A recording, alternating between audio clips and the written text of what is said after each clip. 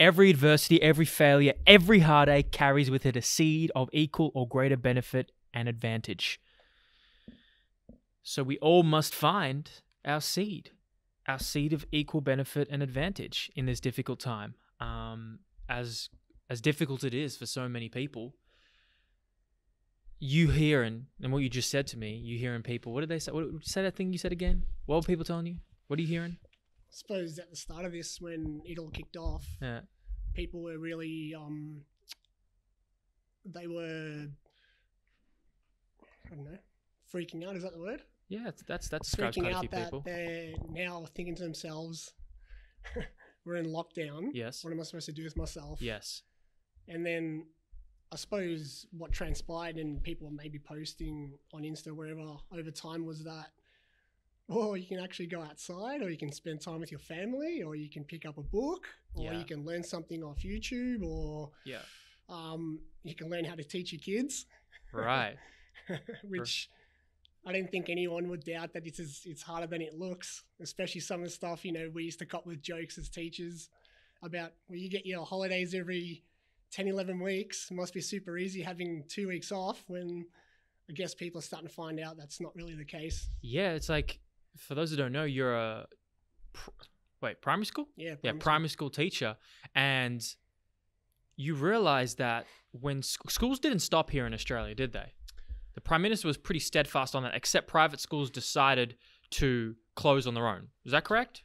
Yeah, I think the from my understanding, or at least in Melbourne, um, the private schools did it first because sorry, the private schools did it first because um, there might have been a case at one of them, and then you know because they're their own entities, they're not really with the government. They can pretty much form their own rules, and Mm. they were like, "We're going to shut shop." And then after that, um, I suppose on the advice of the chief medical officer, even though they've been adamant from the start saying that schools don't need to be shut down, Dan Andrews looked like he sort of just went on the front foot, was like, we'll do it our way. Yeah, and that's a weird thing. Like, well, not weird, but it's just different. Every state has their own kind of rules and regulations, and they're going to execute the plans of the prime minister differently. Yeah. Um, and so we're kind of behind. Like, gyms are opening up in mid June Okay. in Queensland, Northern Territory, South Australia. Okay, I know this because um, I have networks and contacts with these gyms, and we, with our certificate three and four in fitness with Orphic, we have to um, we have to notify all our students like when are we going to run this Right. when are the gyms opening up? When are we going to start teaching again? Uh, but Victoria and New South Wales have no dates, and it's just in America. I'm hearing like a lot of businesses are being affected. Yep. Like they're they're freaking out quite a bit more, like economically, and people are trying to get their unemployment checks. I don't know how much it is, but I was speaking to kind of uh, some friends I have in America, and it doesn't seem as good as the situation here in Australia where we get a, we can get a fifteen hundred dollar check per fortnight if you're eligible. You can get a ten thousand dollar grant if you're a small business that makes seventy thousand dollars or more. Um, And the fifteen hundred dollars isn't means tested. You could work for what, like you, you could have had a job where you worked for like two hours a week, right. or you could have had someone who worked for like twenty hours, and they they, they got the same sort of benefit. Do you know what fifteen hundred dollars times fifty two weeks is? Did you? Did you listen to the other podcast? Was that what about seventy k? Ooh, He listened to the podcast. That's George Bouios. No, you've had some. You've had amazing people on here. Like, let me just chip in quickly and say, like, this is Please. awesome. Like, Appreciate it, man. got like what you've started with. This is awesome. I, I can't get enough of like people you have on here. So I'll be learning a lot. But That's awesome, sort man. of interjected with the seventy grand. You see, it's about seventy grand, isn't it? Yeah, 78. I know we don't get paid for 12 months divided by two equals. I'm, I'm bringing this up again um, because uh, a friend of mine, Andy, commented on a, on a post and he made he made a, a, point that's important, and that's well, after taxes, this 39 grand in six months, it's going to look quite a bit smaller. He did some math on it. I didn't fact check it, so I don't know how accurate it was. Mm. Um, but for the job seeker, job keeper, like it, it is going to diminish depending on how much they tax it. Um, but I don't think people are ready for what's going to come in the next 12 to 24 months. you know, what the fuck happens to an economy that has been squeezed and relaxed and squeezed and relaxed because it's gone just up and down. I don't I don't know a lot about economics. Do you have you educated yourself much on that? It's probably one of those subjects at school which I probably avoided. I was more on the health sciences side, Yeah. but it, you know, it's you, you're forced to listen, aren't you? Because it, it affects everyone. So, I suppose at a base level, I've tried to understand what's been going on with this and how it affects me and teachers in general. I suppose. How was know. that going with teachers? Like when this all started, how you guys had to adapt pretty harshly. Yep. How how you guys how did you guys do that? We got a lot of different reports at the start before it all kicked off about um, we may not be back at school in term two for a bit. That, that this is in the very beginning. It was um, we may not be coming back to school for a couple of weeks after term two. When's term two? Oh, sorry. Um, term two. Um, What date are we talking? Do you know the dates? well, Or what month? yeah, that's bad. I'll look it up. Um, Check it out. Term two, Yeah, Tuesday, 14th of April to 26th of June. right. So about a week before So we're in that. Oh, we're in term two, yeah. Yeah. But previously, like in sorry, at the end of term one, when all this was starting to kick off, um, the advice was sort of a bit. No one really knew. They're like, there wasn't anything official about how schools were going to run, and you know, because Scott Morrison was still saying schools don't need to close down. That's the Yeah. advice that they were getting because it didn't look like it was affecting kids and whatnot. Um, but then the arguments came about immunocompromised people like me. Yes. Um, Very. older teachers, older teachers who might have families who, or even teachers who have families who have people who are immunocompromised or have a condition. So there's a lot of uncertainty around what we're required to do. Um, and so then from there, I suppose more details came out going, it's going to be remote online learning. You guys need to get yourselves prepared in teams, in your teams. I teach grade six um, how you're going to negotiate that. So um, the option was to do WebEx meetings, which is the equivalent of Zoom, but I think WebEx is maybe a government initiative. So we didn't, it wasn't mandatory to do them, but you could do them. And also, obviously, preparing online work for them, which they would submit to you, which um, they were the two ways, I suppose, to get around it. What's the quality of you now receiving this online work? Now, way different from in person, right? Sure. In person teaching, you get to it far exceeds online in so many ways, especially for, for children. Yep. Okay.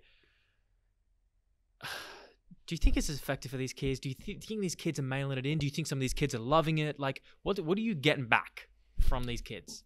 I still look at it from what I've seen um, in terms of there's a few different ways you can look. You can look at how many log on every day to do it. Now, theoretically, it should be everyone. What are we looking at Well, at your school? initially, um, you know, you'll get like trouble things around. I can't log on. Blah, I don't blah, know blah, my blah. username. I don't know a yes, password. yes. You know, I haven't got con- internet. Control Alt Delete. Restart the computer. Yeah, all this sort of stuff, right? So there was, you know, some teething problems first couple of weeks, I suppose. Yeah. Um, in terms of the work quality, it definitely varies, but in the engagement levels, it it almost still mirrors your class in general. Well, I can only speak on mine, but those, you know, sort of like a bell curve. You've got like your four or five who will do every task, have a high level of independence, are reasonably good problem solvers, um, can read instructions, submit, no dramas, great. Then you've got like your 10 or 12 who are like, I'm not sure how to do this, how to troubleshoot them, and then they're off and they're good to go. And then you get like your three or four who, Stragglers. well, that's one way to put it. Another way is that they've been telling their parents they've been online and they haven't Ah, which maybe people don't want to mention this, but it's that's this is a fact of the matter. Like yeah. I know for a fact that I've had kids who have marked the roll in the morning, and you don't hear about them from the rest of the day because they haven't asked questions. You know, we we use Google Suite, um, Google Classroom, so you can write like a normal thread. You know, how do I do this part of the? you can see if they're logged in, right? Can you, Uh, are you no, sharing screen? Oh, you can't see who's No. active. No, Oh, so you don't know if these kids are you okay, they've marked the role. they're tick, I'm here. They can leave. They could go. and you have no idea if they're there for the whole thing. That seems like a giant, like, uh, hole in the system. But how do you get around that? I mean, I can't run a WebEx for six hours or four hours or five hours. I don't know. Like, could you do it in a way where you like have like for like for example, like university will have like a forty-five to two-hour lecture. Mm. All right, you get an hour break. We'll come back in an hour. We you, you check in every time. Is that are these kids autonomous enough? Their parents helpful enough to help them do something like that? They could, but even up until two days ago, I'm still getting kids going. I'm having trouble with my internet. Oh gee, are we a month into this? Well, whether they're telling the truth or not, I can't say. Just having But, constant troubles. right, so Shit. even when, you know, initially I, in all honesty, in my mind when I first started, I was like, I'm just going to um, provide the work for them and answer them through Google Classroom, give them feedback on their work, mark it, and go that way. And then you find out pretty quickly that it's a lot easier to get onto the WebEx or do like a virtual session where they've got the opportunity to talk to you, like, you know, online, and then troubleshoot problems that way, which will stop like a thread of like 30 questions coming up, some of which are all the same Mm. because they haven't bothered reading. Do you get what I mean? Mm. So there's definitely a mix there to be able to, you know, keep them engaged. But you're right. The fact of the matter is, I could have more than what I assumed to only have four or five, only logging on and doing something else. It could be more than that. Is there's no video sharing? Are you presenting to a, in a video? They can see you talk and Yep. teach. Yep. But you just can't see them. Um, well, we can run like a virtual web um, web session, Right. like a Zoom. Yeah. I can do with my class. So I'll usually, I think my biggest uptake that I've gotten was 17 out of 20 students. That's good. right, which is decent, and that was on one of the lessons that I ran, um, talking about how to negotiate the reading and writing task or maths, and it was good. But on any other given day, I had maybe eleven or twelve, which is just over half the class. So what do I do then? The other ones will still ask questions that I already went through on the, You weren't there, kids. but you can't say that, can you? Because their excuse might be that, well, actually, I did have internet trouble at that time, so now I'm getting punished for it. And I can understand that. Yes. So many loopholes There's these so kids many. can go through now. So So, convenient. You know what they're doing with exams in universities No. online? Right. Okay. That has its own like no regulation to like whether um you're looking at something and you're checking your notes. They Yeah. can't regulate that. In fact, though, there is some software that can actually use your webcam and it can track your eye movement, which I think is pretty freaky. Wow. Like if your eye movement goes too far off the page, you're like, oh, you're cheating. okay. It's like, okay, I'm glad Deakin aren't using that at the moment. Um, They've still got Turnitin, I guess. that yeah, that's actually useful. That, what he's referring to for those listening, it's it's a plagiarism um, reporting uh, tool that you can check if any of your writing and uh, assignments and essays have plagiarized information, which is actually important because you can Is it twenty percent? Is that the allowable thing? uh, something like that. it's never been an issue for me because like you Yeah. could just paraphrase. Sure. you know and like here's the thing no information is unique right every study has references Of course. every study that references have more references. Yep. we are all standing on the shoulders of giants of giants of giants. There's there's almost no new ideas unless you're like elon musk. Sorry you're not. Um and it's all just we're just passing on regurgitating refining. Like me i'm not alexander emmanual i'm just some guy who's an amalgamation of all these amazing people above me. So that is what it is. Anyway i think it's interesting to get a perspective on like teaching or they're doing online i should say before i go to that um, they're doing online exams they're they're giving very lenient kind of extensions for people who have internet troubles like we can help you out you have a 24 hour period to finish your exam Yep.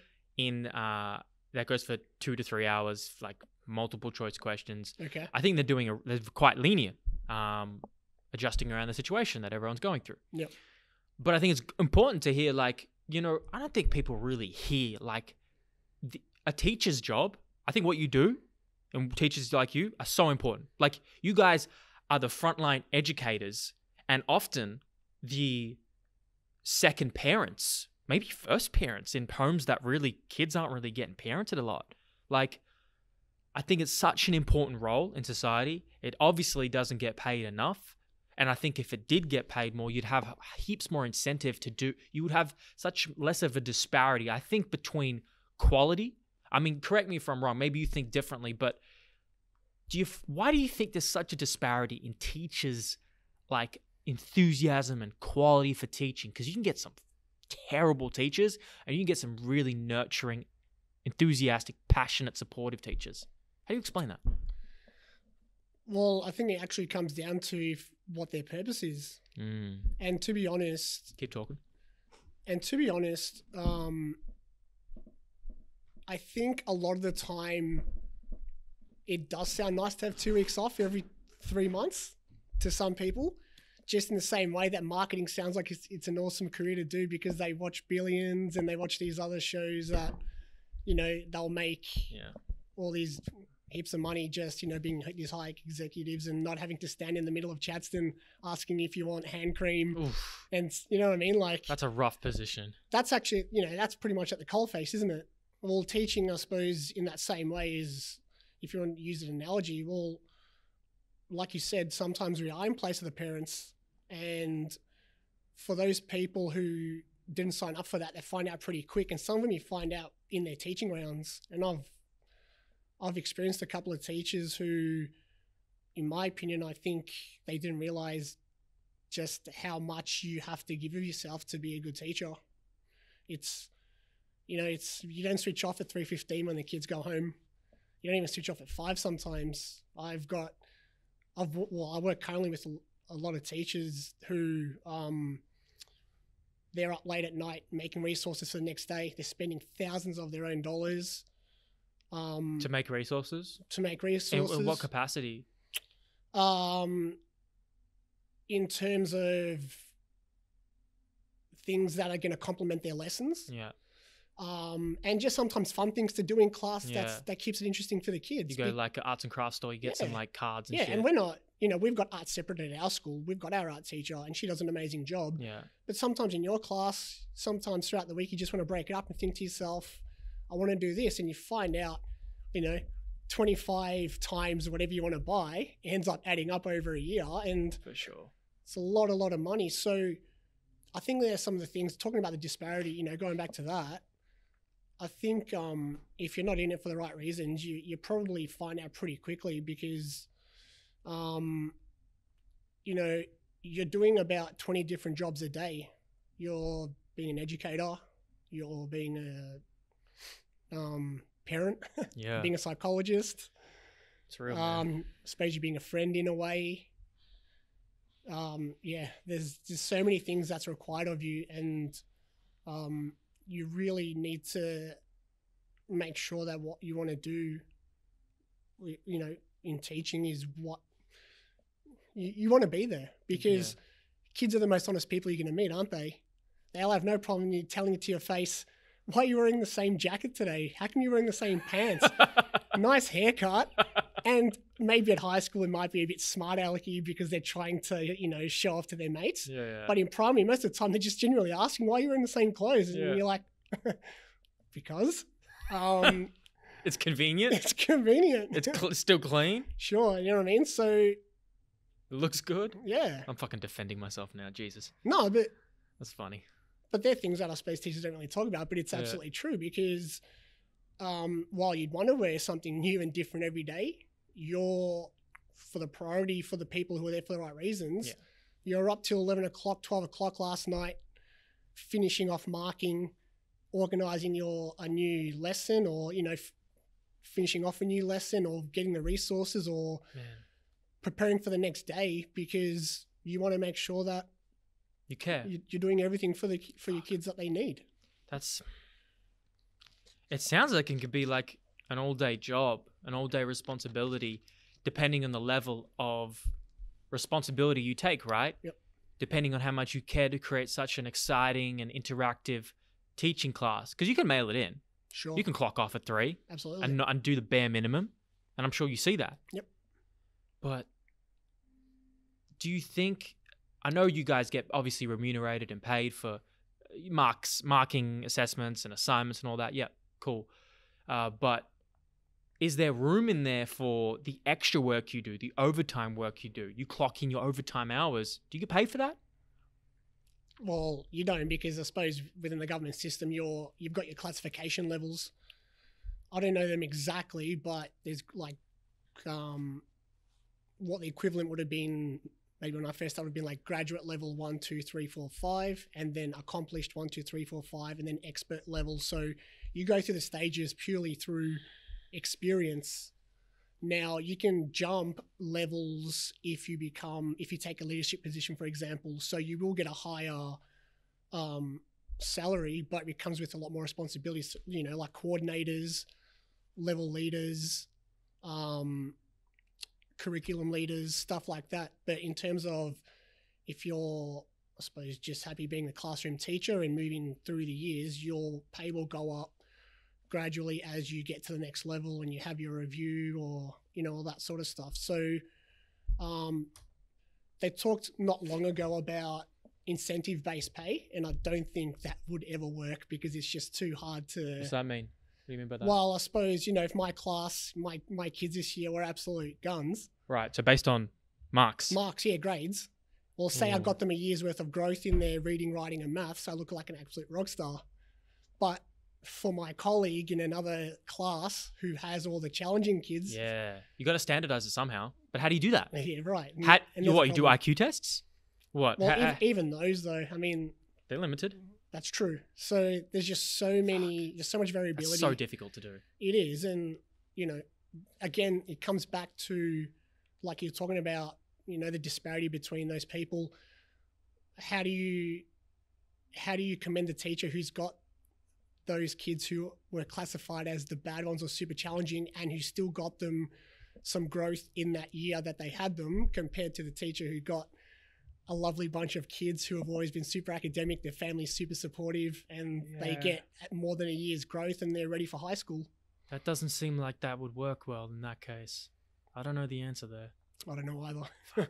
Is that is that I'm, I'm pulled up for those just listening the average school wage salary are those numbers at all accurate I'll keep scrolling down um, I think the we're we're looking at 84,000 elementary school teacher in Melbourne Sydney 100,000 which is a great living for, and well above the mean um I would say that the 84 is probably maybe about um maybe it is now. I'm not sure. I was I was under the impression that it might be around what's going on?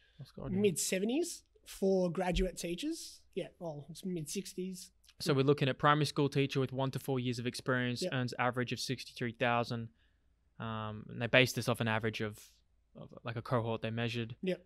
Five to nine years, seventy two thousand. Is that somewhat accurate? Yeah, I'd say it's there or thereabouts. And then um, maybe if you're the top of your tree without being having any extra leadership or expert level duties, you'd be maybe top of the trees at the moment. I'm guessing is just over 100 grand As an elementary school teacher, for government. Pri- what's the flexibility with private? Is that is that really regulated just by the school? They decide. I'm not sure. I'm going to say it is because I know you get a bit more. But then at the same time, I suppose, and I could be wrong, like I'm just going on my own knowledge. Yeah.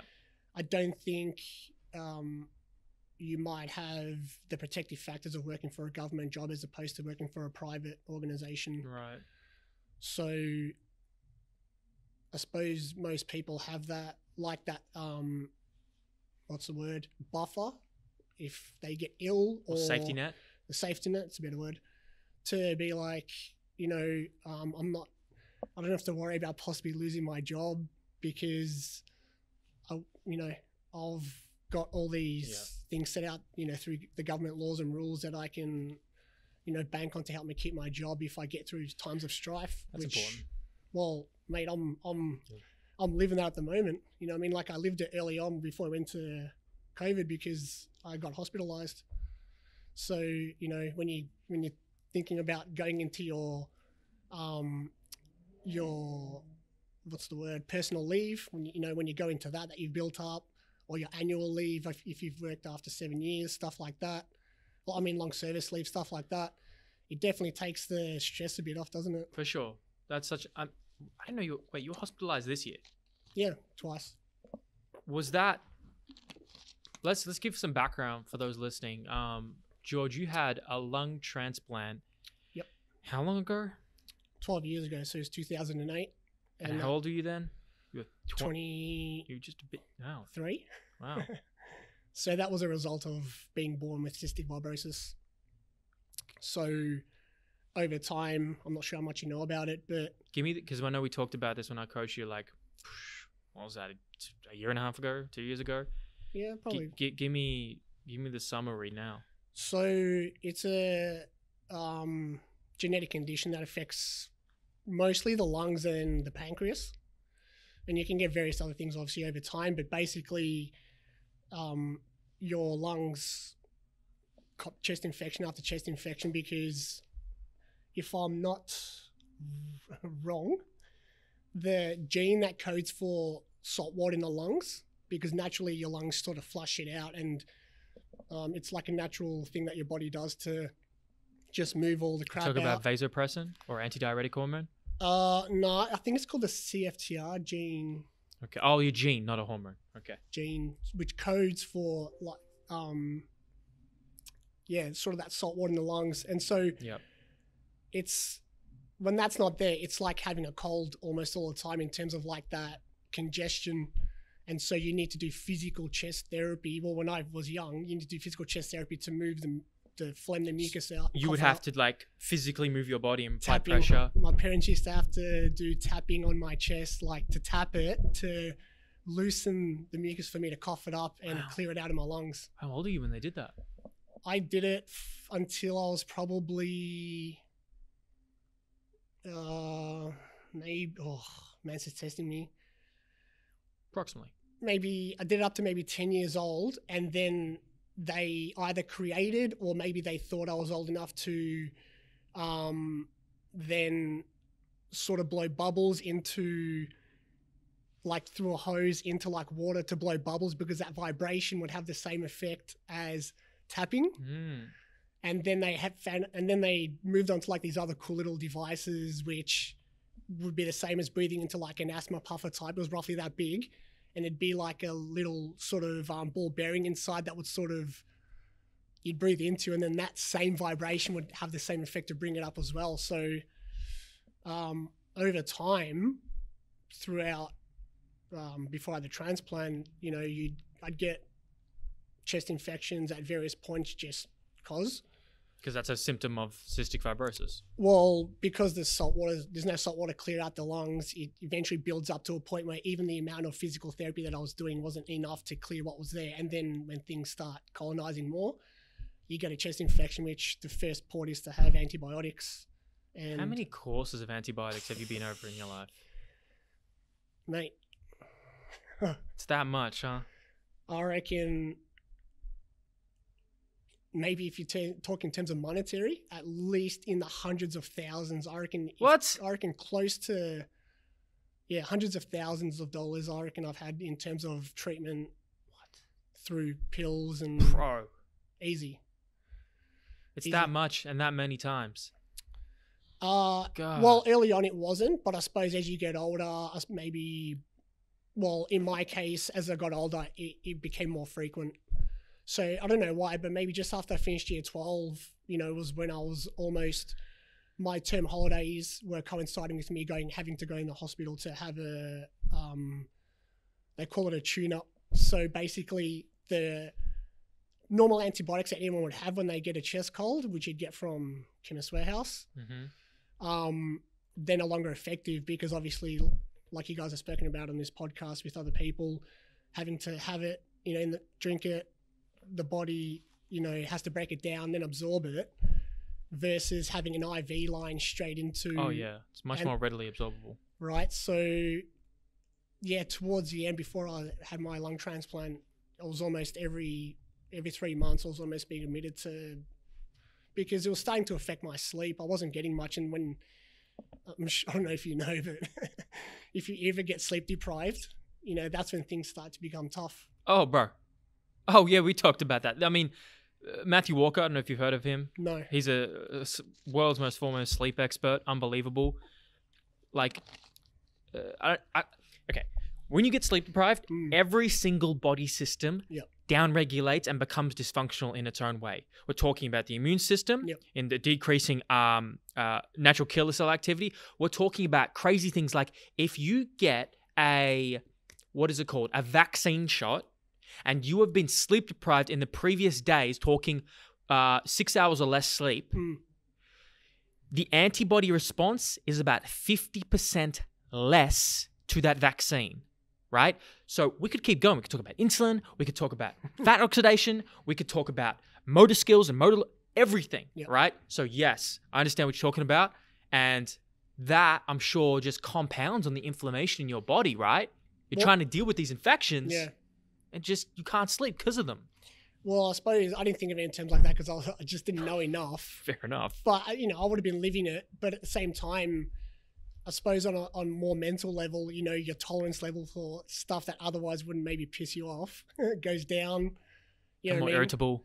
Yeah, absolutely. You know what I mean? Like, so may, maybe I was getting, if in total, six, seven, eight hours. But the problem was maybe every two hours I was waking up to have a cough. No, that's So broken, broken sleep is is Terrible. it's just as bad because, you know, you up and then you cough and then you sleep and then you sort of do it again and then you know you sort of mm-hmm. awake and then not awake and whatever. So, yeah, over time, probably up until the last two years, the last two years is where it really started taking its toll because it was kicking into my sleep.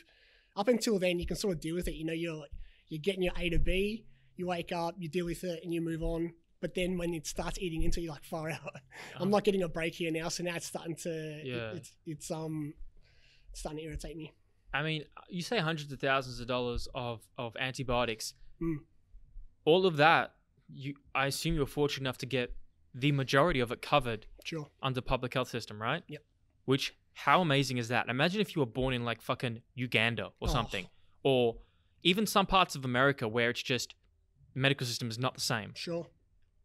Can you fathom like how your situation could be different? There was a drug that I was on pre a fungal drug, like for a fungal lung infection Yeah. that I had before transplant, um, because I had to have it.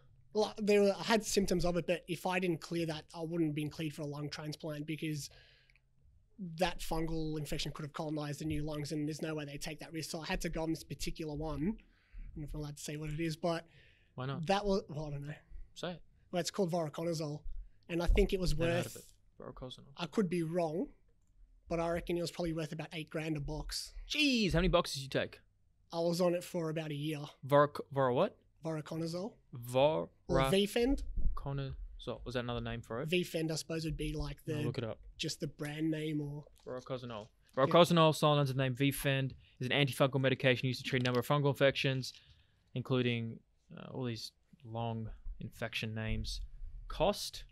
I just, I'm fascinated by how much some of these things cost. Like, because pharmacology is like, it's it's a uh, they might not have it because it'd be on the PBS. But I remember the lady at the pharmacy maybe um, left the original label on before they put on the PBS sticker, and it went from something like eight grand or something like that to like six bucks fifty or like nine dollars fifty.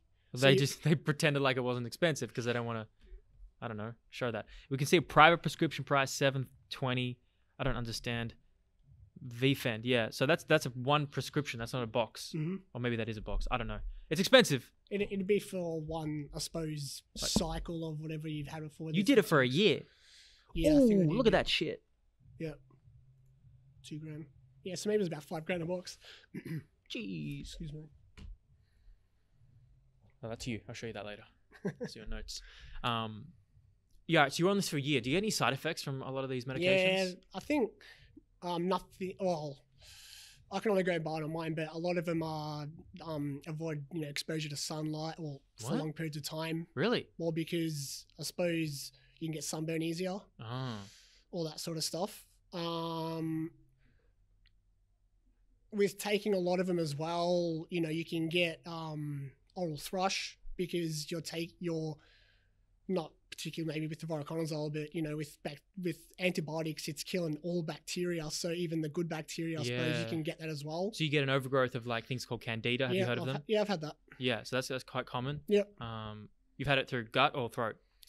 Well, I suppose would it one lead to the other? I've had Uh, it. In the, I've had it. Um, yeah, in the throat because you know things like all the puffers I've been on, Shit. antibiotic puffers I've been on.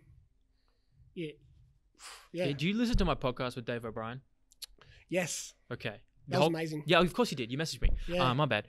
Um, so he worked with me in in dealing with some of those issues. Like Yep. candida overgrowth um, is is quite common in people, and you can actually see it in your stools. Mm, Um, we all have candida. Uh, it's, it's it's a normal part of the uh, gut microbiome. However, it can be we can get an overgrowth of it, and that's when it becomes more pathogenic. Yeah. And he helped me deal with things like that, and you know, I don't know the position. I mean, we'll talk about it, the position you're in now, but I think a guy like that Mm. would be really perfect for you. Obviously, big investment um, over a long term period of time, consulting and consulting. But shit, if it gets if it gets to it, or if it's it's getting to it now, and it's I mean, I think we talked about it earlier off camera and like how it is, but uh, I'd recommend a guy like that. Like he he really might be able to seriously change some things for you because you think about how many courses of antibiotics you're on, your gut must be in a fucking state, oh, absolutely, right? for sure. But it doesn't mean you can't recover and improve it and Yep. do some amazing things to, to help heal it. Yeah. Um, because w- when we talk about antibiotics, which I, I kind of, if there's one thing that if you can have the choice to, don't take. Speaking from a gut perspective, which Mm. then leads into every other body system, is minimize and reduce and avoid antibiotics Right. as much as possible, right? Unless you absolutely have to. I'm not a doctor. This is not medical advice. This is this is what I tell myself. Yeah. Right? Because of the implications to the gut. Wipes out all the bacteria, like you said. And then it's what happens after that. When you wipe away, when you clear the fields, you wipe away all the pathogenic bacteria too. It's good. But now it's an opportune time where you give it time for opportunistic bacteria to colonize Yeah. f- for funguses and yeast overgrowths and and dysbiosis etc etc so that's a little plug for dave o'brien i reckon you should go see him No, hundred percent. I actually um threw him a private message on Insta, and he hasn't got back to me. That's not not a knock on him because No. people are super busy. Yeah. But I thought I'll throw it out No, there. and good, if man. he gets back to me now or in two months or whenever, it is what it is But I actually did a bit of reading after I watched that pos- podcast with him, and there was a study, maybe in the what he got um, published or he got put online in January, February this year that actually talked about the connection between gut health and exacerbations in CF. And they Ah. found that improved gut health actually reduced. There were less exacerbations in those who had like good gut health. makes sense And in all the years I've ever been treated, yeah it's never been a focus. And like I said, I'm not shit canning doctors. Absolutely not. Like, you know, they've done an amazing job with all the things they've had to do with, with me, and I suppose with anyone else who's got what I've gotten more. But um, you know, I, I mean, when I got first diagnosed, is was 1985. so i mean you're born yeah, you know what I mean. So what mid mid mid eighties, early nineties, the biggest um, the biggest focus would have just been making sure that I was putting weight on and you know you know like the height, the growth and weight charts they always show for little kids like pediatrics. yeah. you want to make sure your growth development is right. is healthy And so because obviously CF is notorious for malnutrition, you know, the biggest thing was always, he putting weight on? And so that was the only thing that was drilled into me. And just, eat, just eat eat. And it was anything. So my diet's horrible. And that's, was or is oh, it still is. Like I could be eating way better. I'm just not educated enough, I don't think. And um, that's a habit that I got into super early because I was just like, if he wants to eat pancakes six times a day, whatever, to put on weight, then let him eat it. Or if he wants to have Macca's 20 times a day, whatever. And my friend's like, oh, you know, and nothing against them, but they were like, oh, okay, well, if he needs to put on weight, we'll just give him this. And, um, you know, they were just like, you know, my mum always, she always cooked home meals for the whole time I was home anyway. yeah But but one healthy meal a day no, it was, it was more than that. Like when I was at home, I was eating properly. okay Right. It was just, you know, every so often on Saturday night, if you had, you know, Macca's or a pizza or whatever. But most of the time, my mum, you know, she broke her back cooking for me and our family. So, good for her you know, the that diet side, I suppose, was always taken care of. But I suppose in terms of like the advice, it was just eat whatever you want. And hopefully they know more now. I mean, I haven't spoken to the dietitians for a long time at there, but I feel like um, I don't know how much they'd be putting into gut health. Oh. I feel like it would be Yeah. more around is his results whether it's through breathing tests or blood tests, are they in the normal parameters? If they are, you're doing fine. Go. And who's to argue with that? I'm like, yeah, I feel good. How are you feeling? I'm putting weight on. Is your breathing test good? Yep. Um, great. See you in three months for uh, your, your next checkup. Then it was never because you're taking this. It's probably good to take this. Yes. And when, when we're talking, okay, lit, great point, great segue. Yeah. Like I just, oh Jesus Christ, the fucking projector here that I'm now trialing is. uh So what I'm looking, what we're looking at is once this focuses, is a study on probiotics for people with cystic fibrosis, Mhm. and this was I, I looked up 2020 just to see if it was the same one that you were looking at. I'll zoom in a little bit more. Um, so I'll go down to the conclusions. Probiotics significantly reduce fecal calprotectin, which is a marker of intestinal inflammation in children and adults with CF. However, the clinical implications of this require further investigation. Probiotics may, may, may make little or no difference to uh, pulmonary exacerbation rates. However, further evidence is required before conclusions can be made. Um, and so, given the variability of probiotic composition, dosage, further adequately powered multi-center randomized controlled trials of at least 12 months duration are required to best assess the efficacy and safety of probiotics for children and adults with CF. Okay, cool. So they're being conservative. Um, I think the one I read maybe was a bit more positive about it, but you know, for every study that disproves it, there's one another one that does it. So, yep, it's up to you to make your own mind up about. Okay. However, and that's absolutely correct, right? You want to look at the totality of research, Sure. right? Not just isolation. But this is we're just dipping our toe in. Calprotectin, though, is really important marker of, of gut inflammation. And it's actually when I did my first stool test, I had really high calprotectin levels that were alike to somebody with something like an autoimmune disease, like Crohn's disease. Right. And at the time, I'm like, I'm in my early 20s. I'm, I'm a fucking young kid here. Um, still am in fucking a lot of ways, but when you see that as a young kid, you're like, oh, I thought I was doing all the right things. Yeah. Yet someone like me, an athlete, uh, someone who really understood like or was learning the importance of like trying not to eat out, eat junk food, you know, hydration, um, trying to do best that I could for, for my athletic development. Yet I still ended up with small intestinal bacterial overgrowth. I still ended up with really high inflammation in my gut and skin issues and, and gastrointestinal issues. So if someone who's really who's trying and who's an athlete can is getting it, Mm, what about people like you and the rest of the population? it's a good question. Like that that that messes with me. But see, like, and I think I don't know if Ivan talked about it. He was saying um, that availability of knowledge. Like, how would I know to know about that? How would I know to ask about that? Yeah, no unless shit. I'm doing putting in my own work in it. And we spoke about this before, talking about the onus on us as a population, me, not me in particular, but for the sake of the argument, um, the doctor's orders will be there, and I get that, right? But um, at the same time, just being like making sure that's it's not enough. You you have to.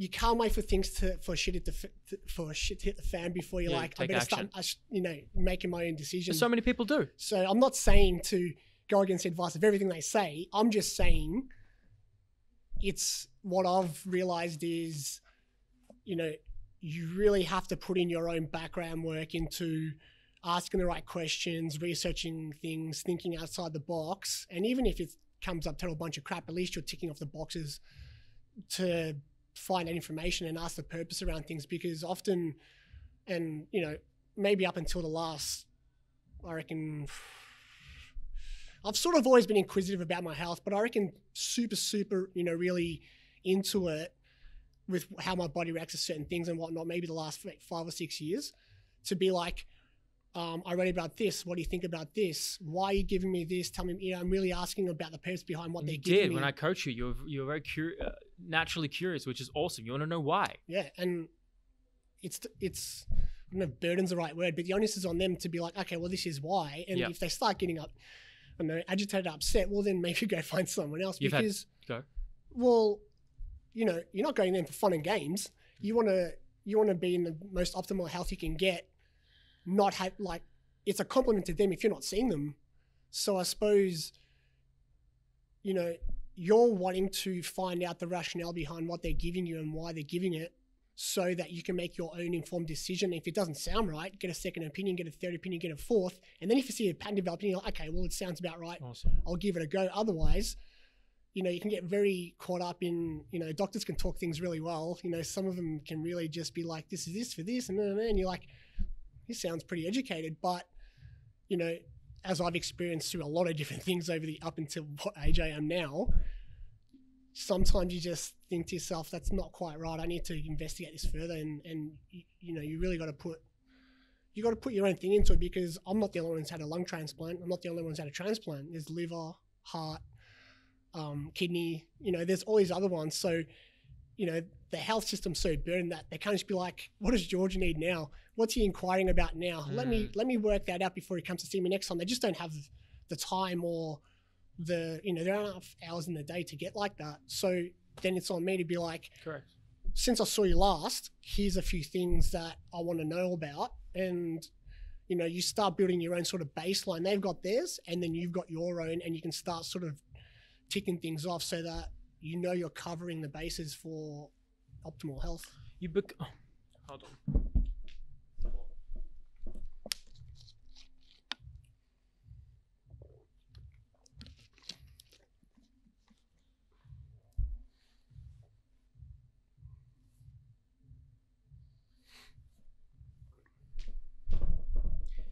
You become your own doctor in quite a bit of ways, right? Sure. to build that self awareness. And through that, you build body self awareness, you build psychological self awareness, and you can begin to problem solve your own issues now.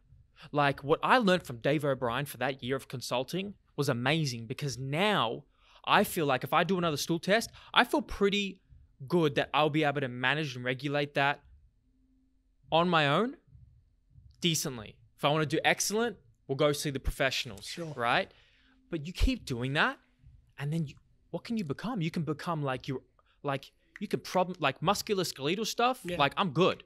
It's my field. Yeah. Gut stuff. I'm learning still. Blood stuff. Learning still. But like you, you're getting to a point now. I'm sure you've got to a point now where what you're experiencing now. If we fast forward, Mm. right, lung transplant over ten years ago, um, now you're experiencing some odd symptoms in, in a way that well you're trying to problem solve yourself but it's also it's kind of an out there thing where it's i don't know i need some extra guidance W- talk me through that In terms of in like terms my of what current situation. yeah yeah exactly So are you talking about like from how I had the drop in lung function?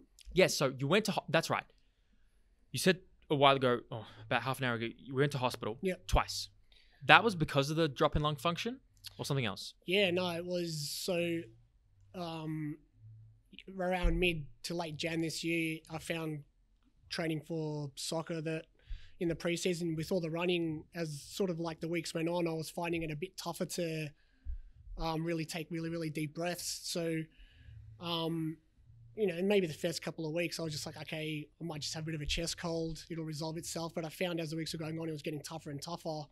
And the only way I can sort of describe it for people watching is it's like when they tell you to take a deep breath to blow up a balloon and then you take another deep breath and you feel like you've got nothing else to take in. And so I got to the point where I couldn't even do the warm ups anymore because I was really struggling for that breath. So um, had a chat with the doc and everything, and they did a bronchoscopy. So in a bronchoscopy, they put a camera down, have a look in your lungs. check the- conscious Uh, you're sedated. how many times has that happened to you Uh, initially, when you have a transplant, I think you have a could be wrong because you know, it's been 12 years, but in the first year, I think you have it maybe every three to six months, and then from there, it's if you don't have any episodes, if they don't detect any rejection or there's no infection, then obviously they stretch it out to the point where you don't have them unless it's medically necessary. Have you thought about? I mean, I don't know the answer to this. I need to look this up. But have you thought about like, hold on, we know antibiotics can be harmful, especially long-term consistent use. What about being sedated? Hmm. What the hell happens after you do that a couple dozen times in a lifetime? yeah, that's a good question. I've never thought of that to be honest. Well, maybe I don't want to f- almost freak you out. Like, I'm not freaked out because it's a 'Cause fact there's so much. Yeah. you don't want to get overwhelmed. No, it's but it's something that I have to do. What's the other option? If they're No like, shit, if, yeah. when it, if they're like, we need to go and have a look. What are you gonna do? So basically, you know, early days they look in with the camera and they they take a sample of your lung tissue to test it for infection or rejection. hmm And so they did that and they found that I had some of the bacteria from my original lungs that I had, which is called Pseudomonas. Oh, you're Pseudomonas. Yeah. So that's uh, one of the typical bacteria that's in the phlegm of people who have cystic fibrosis. There's another one. Okay. I think, I think that movie is it five feet apart, six feet apart. I don't know. Um, it's based on two kids who have CF and they're not allowed to be more than closer than five or six feet to each other because you could get cross infection of the bacteria. Really? Yeah. I think that one's B. cepacia. I could be wrong. Yeah. Keep going. But um Pseudomonas. So they detected this Pseudomonas, which is a negative gram bacteria mhm. um, in the lungs. Yep.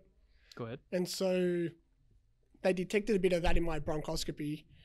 And I suppose that being the most obvious thing, they're like, okay, well, we'll need to hit that on the head. So over that time, which I didn't explain, from the time that I got admitted to when I was first feeling the symptoms, I've, I've dropped just over a liter of lung function. So the equivalent is probably like a 1.25 liter bottle of Coke, is roughly how much worth of air or capacity I've lost. Which is huge, and you most people can't fathom that. Just I think what what would you liken it to? Just like half your breath being taken away, half your ability to inhale. Absolutely. So, um, it's probably if you. I'm trying to do an example for people. So imagine running maybe four flights of stairs super hard Mm. is what I would get after running one flight of stairs after dropping the function because.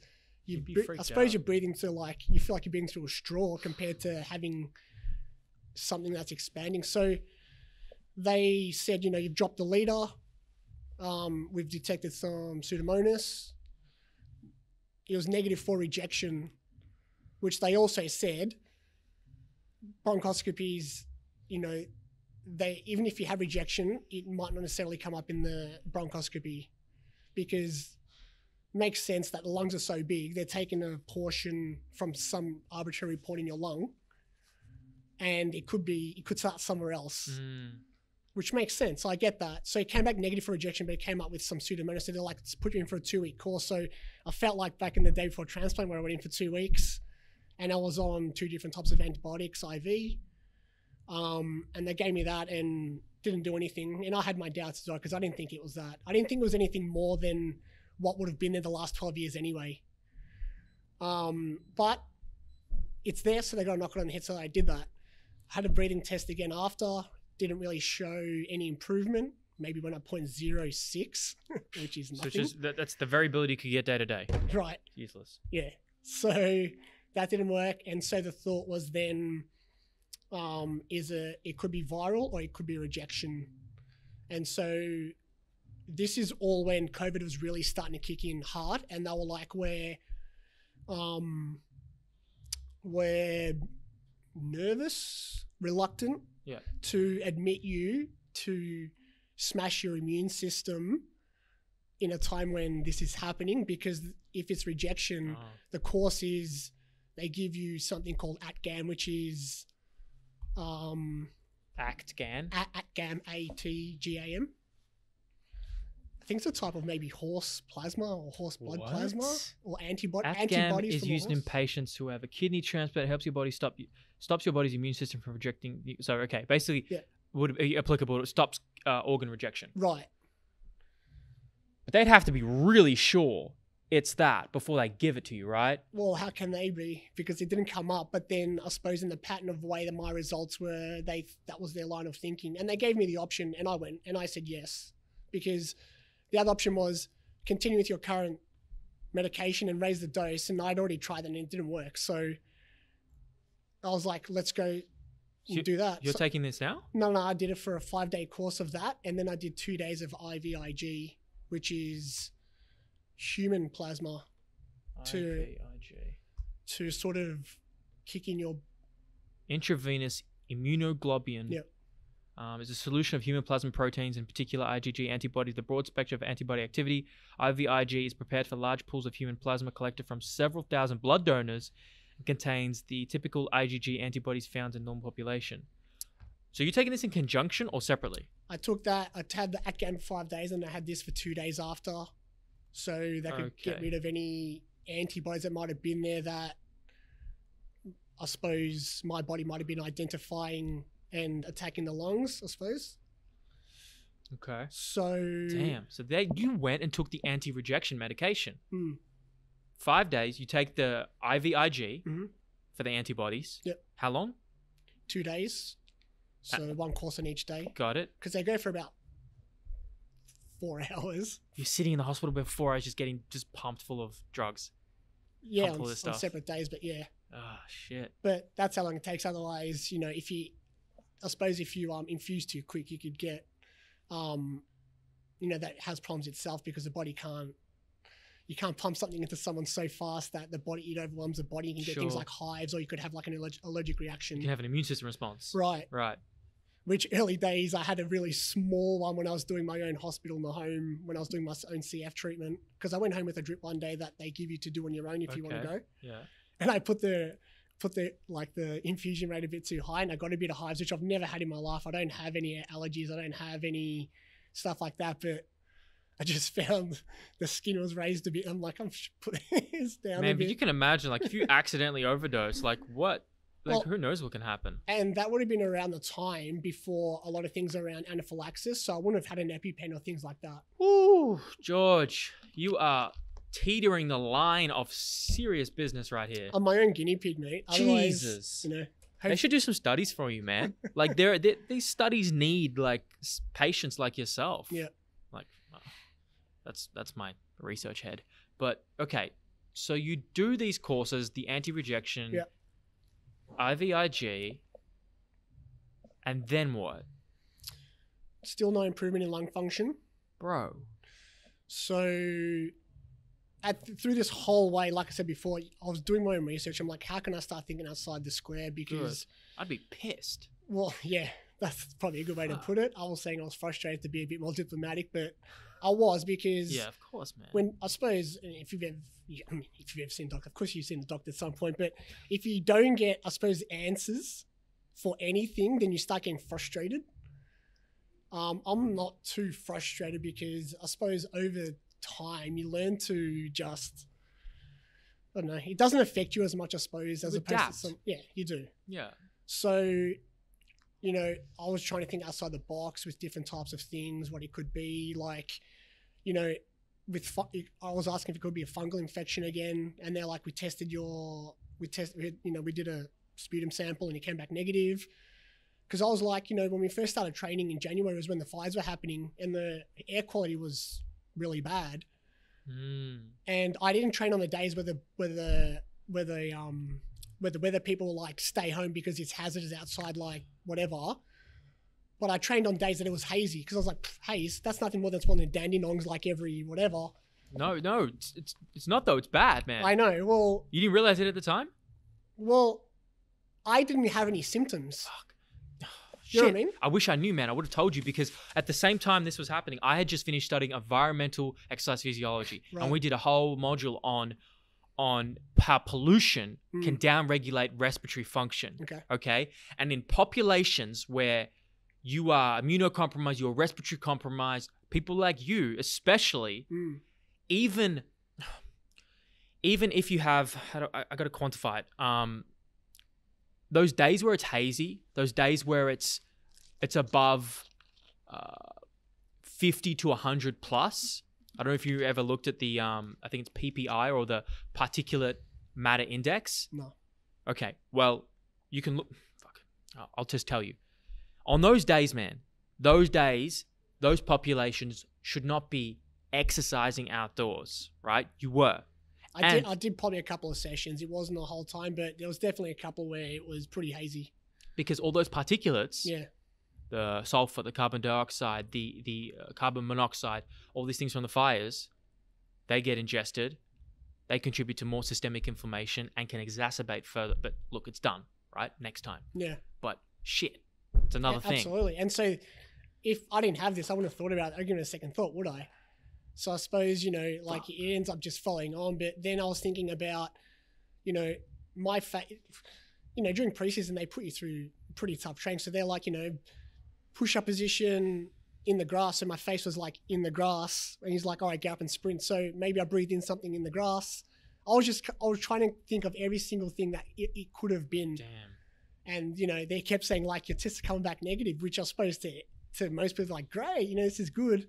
Well, no, But- because your symptoms are continuing. Well, that's what I mean. So it's like a double-edged sword. You're like, oh, my blood tests look good; they're in the normal parameters, and these are all good, but they're still not got any idea about why I've dropped this lung function. And you know, I, in fact, the other day when I went in for my last thing that I'm talking about, it, you know, the pattern looks like it's rejection, but I'm still holding out. I think, you know, it's not definitive yet, so I'm just gonna until there's nothing left. you know, we'll see how we go to that point, but you know, up until that point, I think like I said, it's up to me to just keep investigating because, and really keep on top of what my symptoms are. Because with anyone who's got, um, who's got or um, was born with something that's so long term, um, your own intuition about your body you develop it quite early, I think, Mm. and you probably don't know how to articulate it properly, but, um, you know, you changes in your body because I suppose with me having chest infections, they're so absolute. And you're like, I've got a chest infection, I've got to go in. But through that, you start sort of developing other things to go. Um, I don't know, like my sinuses aren't too good, or I can feel this happening in my stomach, or whatever. And you become more intuitive, and you start honing in on things, and um, you really try to work out yourself how to what's causing what before you get told, because that might be too late down the road, and then you have to have another hospitalization. Does that make sense? Yeah, it does. You're trying to like preempt by listening intuitively to your body Yeah, so you can get ahead of it. yeah. Well, what, what you try to do now, but you're telling me the doctors still don't, they have nothing. Well, that's What are they telling you? well. They're telling me that I need to go for another bronchoscopy. Which you just did, what, a month ago? I did one in um, maybe end of March, Okay. start of March. So not long ago. No. But they might see a different part of the tissue. Well, that's what they said. They said something could be present there this time that wasn't there last time. maybe. Maybe it's developed. But if not that, what? I don't know. So if the anti-rejection medication didn't fix the issue, does that rule out the fact that your lungs could be rejecting or your body could be rejecting the lungs? it doesn't rule it out. No, Doesn't. No. What happens? because their thought is we're trialing everything else and it's not working. And from their experience, how they explained it, the pattern that they're seeing with how my lungs just dropped, um, and there's no explanation, usually points to rejection. But there's no there's no test that's been confirmed it. So I could, you know, I that's the part that I can't dispute in a way because if they've seen, I don't know, 100, 200, 500,000 people who have had this same thing as me who have dropped and blood tests have come back fine, CT scans have come back fine, chest x-rays have come back fine, which mine all have, like they're all, they're like, this is all good, no pneumonia, like no inflammation, apparently from like the, from the MRIs, all that sort of stuff, then their thought process is that can't be anything else by, by ruling it, by not being, by ruling out everything else almost how do I argue with that? I can't. Like, doesn't mean I'm going to stop. Investigating, yeah. Right. You know what I mean? Where you know that's why I was thinking about gut health and Yeah. the inflammation with all that sort of stuff. But that's another part. So I mean, look, addressing that stuff surely will help in, if not any- directly, anyway, indirectly, Yeah. which is great. But do you think about like how long is, is a lung transplant supposed to last? Well, apparently the statistics, stat, I was going to say stats, and then like merge the two words. They drop after five years, roughly. What is what do you mean? Drop what? So, like, um, I think they talk about in terms of either mortality rate or rejection might be the The- chances maybe increase after five years, maybe possibility of rejection, Oh. And then, you know, as you go on, um, In time. yeah, then it'll start maybe you know your survival rate maybe starts dropping off slightly. Do you do you think about that much? Do you try and avoid it because you don't want it to like stress you? No, not really. Like, if there's six billion people on this planet, everyone's going to be Six, six billion, George. seven, eight, seven. George, it's- we got seven and a half billion people. All right, so seven and a half billion people, right? So if there's that many people, surely it's got to be variances. And there's there's people that have had transplants who are still alive who had them in the 80s, Oh, really? Yeah. That's awesome. right? Early 90s. So, I mean, say that, say I do have rejection, right? Yeah. What then? It just randomly came up after 12 years. Who they showed me nothing to say after 10. That's like the big mark. We don't know what happens after that. And then, you know, at year 12, I get it. So, yeah, it's just a, it's, it's a card game. It's luck. How do you contend with that mentally? Uh, well, you learn to appreciate things pretty early on in your life, don't you? Yeah. Absolutely. So you you do you develop a sense of gratitude and um your quote that you chucked on Facebook about not living like it's your last day. I don't Mm. live like that, but I definitely am mindful about the interactions I have with people and what I'm learning and what I'm doing. Um, even, you know, just making sure that I'm present in whoever I'm with any given time, even it's breakfast or at school or whatever. So Yeah. all those things, you know, you, I can only control what I can control, which is my interactions with people and how I deal with life. Otherwise, you got two options, don't you? When you have something like a chronic illness, it's either, oh, whatever, I can't be stuffed. I'm gonna, you know, I'll take the antibiotics if I feel like it, and I'll do workouts and whatevs, or, you know, Proactive. right. And obviously, I've got my parents to thank for that because my mum was super on top of it. I mean, they, they migrated from Greece from a young age. What island? Uh, Do you remember? Ask because my grandparents are from Samos. uh, might be from Thessaloniki, Oh, that's a long word. Salonika. Shit. Do you, But do you have mem? Go ahead. Keep going. I was just going to say, like, you know, WOGs being told in the mid 80s that their kids got cystic fibrosis, they would have known jack shit about what that is. Bro. So, What if you got it hundred years ago? well, well I wouldn't be here. I wouldn't have been, I wouldn't have lasted maybe past the first year. Jesus. So, you know, the habits my mum got me into, my dad, I mean, I always loved being sporty, so that would have helped, but the the adherence to the regimes that I had to do with have this antibiotic, let's do your physical therapy, and made it as part of my habit, sort of just turn me into that person. Otherwise, if they were sloppy, which, you know, I'm, You didn't. You would have uh, inher- not inherited, but you would have learned those behaviors. sure. The the lackadaisical, uh, complacent behaviors. Mm. But man, you seem like you have, like it's a great attitude to have. You have. You're trying to be proactive. You are trying to be grateful for the moments. Yep. Live presently. And you don't seem, which I love. You don't seem stressed or anxious about the future. Not not uh, not that in my not in my perception anyway. Well, like I said, you can only control you can control, can't you? yeah. So, Exactly. um, when we we're talking earlier about some of those people complaining about being in lockdown and stuff, in my mind, I was like, well, I, all of this stuff that's happened has taken most of my time in between doing my online learning for the kids. But is it really that bad to be to have to stay in your own house? For some people, it is because sure. they can't work. Absolutely. They can't contribute to society. They don't have hobbies. Yep. They get stressed. They don't know if they're going to have their job anymore. Yep. I'm not trying to like um I'm trying to like put the thing into perspective because those are the people who their weaknesses are getting highlighted. Yeah. You have a bucket? Yeah. You got a lot of holes in it. Yeah. You got to fill that shit. Yeah. You know, and with anxiety with that and being isolated, I get I 100% get that. So I said it in a lexical, a lackadaisical way, but Yeah. it was more like my perspective was you got to stay inside.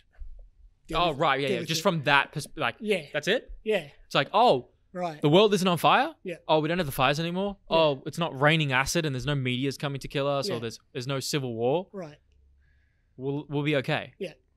You know what I mean? So, and, and I think maybe something you can appreciate when, you know, that term like being sick and tired of being sick and tired. Mm. when you get those moments when you're not unwell, so I suppose whatever normal is to whatever people define as normal, um, you appreciate them a lot more because, you know, to be able to not have to put up with anything constantly or you have that break in, you know, that respite from having to deal with a chest infection or whatever, it, being normal is nice. You really, you know what? A hundred percent. Like you really take it for granted. Like just, you, you remember what it feels like? Just oh, you- you're experiencing your own symptoms, but like not having like cold and flu symptoms. Mm. Like when you get it, Yeah. like this shit, right? But you might get it once a year, every couple of years. For me, I rarely. It'll be maybe every couple of years, Yeah. right? Which is great. Yeah. But when it happens for that week or a couple of days, Yeah. do you remember? You, think, man, I remember what it was like to breathe normally yeah. to, to not have to sneeze every blah blah or um, watery eyes or whatever it is for you. so you t- oh shit, ah, and then it's over and you breathe. Yeah. Ah, it feels so good. You're grateful. Like my blocked nose. Wonder what it felt like to be able to taste food. Oh, now I can taste it again. That's right. and these people going through the coronavirus, they, they get it. And I've seen some videos of like like people in the health industry, like people in their twenties, oh, no, well, thirties, forties actually. One one woman in particular, like she showed a video of her uh, um, breathing in the hospital and at home, and she's like wheezing. she can she can barely talk Right. without being breathless. She's like having to take a breath every couple of seconds. This is a woman who's like healthy in the health industry. Um, fuck, I want to try and bring it up because I think when people like uh, talk about, you know, case fatality ratio, so like what's the likelihood that we're gonna die from this, Mhm. right? For me, and we have two different answers, which is really important. Yeah. For me, it's relatively low. Yeah. But does it kind of make you think like this like you have to be extra careful because you're you're compromised I don't know, man. Like, um, let's go long before this, my habit was before I ate food in general, at school anyway, was to sanitize my hands, right? yeah. So the fact that they are, you know, are telling people to do this and cough into their or sneeze into their elbows, I suppose I was already doing it because I was already mindful not to do it to other people and I don't want it done to me, that's just good hygiene right? So exactly. So they're advising the world on how to actually, you know, be hygienic when you should really have already been doing it. But I actually asked the doctor the other day when I went in, I'm like, give me the lowdown. If I get this, is it game over? Yeah, what'd he and, say? And she said, um, we had an elderly person in their 60s who recovered just fine and is a rock star. And we've had people maybe your age or slightly younger who had to come in hospital. So once think- again, yeah that's what's so right? strange like, about this so all over the place Yeah, so I was expecting them to say, "Don't leave your house," which initially they did when it all kicked off. But um, I don't know. Through this whole thing, I've I was just doing what I was doing. because the doctors didn't inform you in a way that made you concerned Yeah, probably that was part of it. And maybe when I had my first admission this year, when I was in for the IVs, I asked some of the nurses, and it was just probably when it was starting to kick off, like, you know, especially because it's at the Alfred, and they had a cluster there, I think, you know, maybe in the emergency or in the ICU, I can't remember. But even at around that time, you know, they were very aware, high alert, but they weren't like, oh my God. yeah Like, I think a lot of people were, oh my god, at the start, especially um, uh, the countries hit harder, the Italy's, the America, mm, and and and you see this, and you you kind of you're very alerted because of this, and you think, oh man, how much worse could this get? And I think people's fears and concerns are dictated by the potential, Yeah. because the potential of what it could be mm, is so unknown. It's novel. It's a novel coronavirus. It- well, no one has immunity to it. It's not like a seasonal flu where a percentage can get somewhat immunity or, or from prior, previous strains or, or vaccines, flu shots. This is uh, it's a different one, and it's it's different how it affects everybody. Symptoms, severity. You might not even know you have it mm, or you're like this this woman who's um she is Jolene Jolene if you want to see Dr. Jolene Bright right. got uh, coronavirus. She's an expert on women's health. I she think got she- it on purpose. That's a, that's a stupid thing. no, no. no. Did I say that? No, no, no. But like you know, some people would be like, they will purposely put themselves into something to, eh, like their own personal guinea pig to be like, let me. See. It's not necessarily this stuff, but Who's they that? will. Who does that shit? Oh, like they'll put themselves doing masochist type of activities Yeah. to harm themselves Right. just to see how tolerant they are to pain. Right. Right. Oh, those people exist. I think I'm like that in a little bit of way too. I, I, I mentally, I like fight with the coronavirus in my head earlier on. I'm like, man, this fucking coronavirus ain't gonna fucking take me out. No bitch ass from coronavirus gonna affect me. So you had that attitude from early on. Yes. Why is that? Uh, why is that? Because I have to. Because it, look, it's just a mentality that I don't want to adopt. Just, and I'm not saying I can't get it. I'm not Mm. saying I'm immune to viruses. I'm saying that I need to develop a robust attitude towards um, the unknown, towards things that could harm you and potentially even kill you. Yep. Like I, I don't want to succumb to the stress and the fear. I want to attack it and I want to be on the offensive. And so a lot of people do the opposite. They get super stress. They get super stressed, which just increases cortisol, which just lowers your immune system anyway. So it's in my favor to be assertive, cautious, but reasonably cautious when needed. Yeah. Anyway, Remain optimistic. yes, I think that's super important.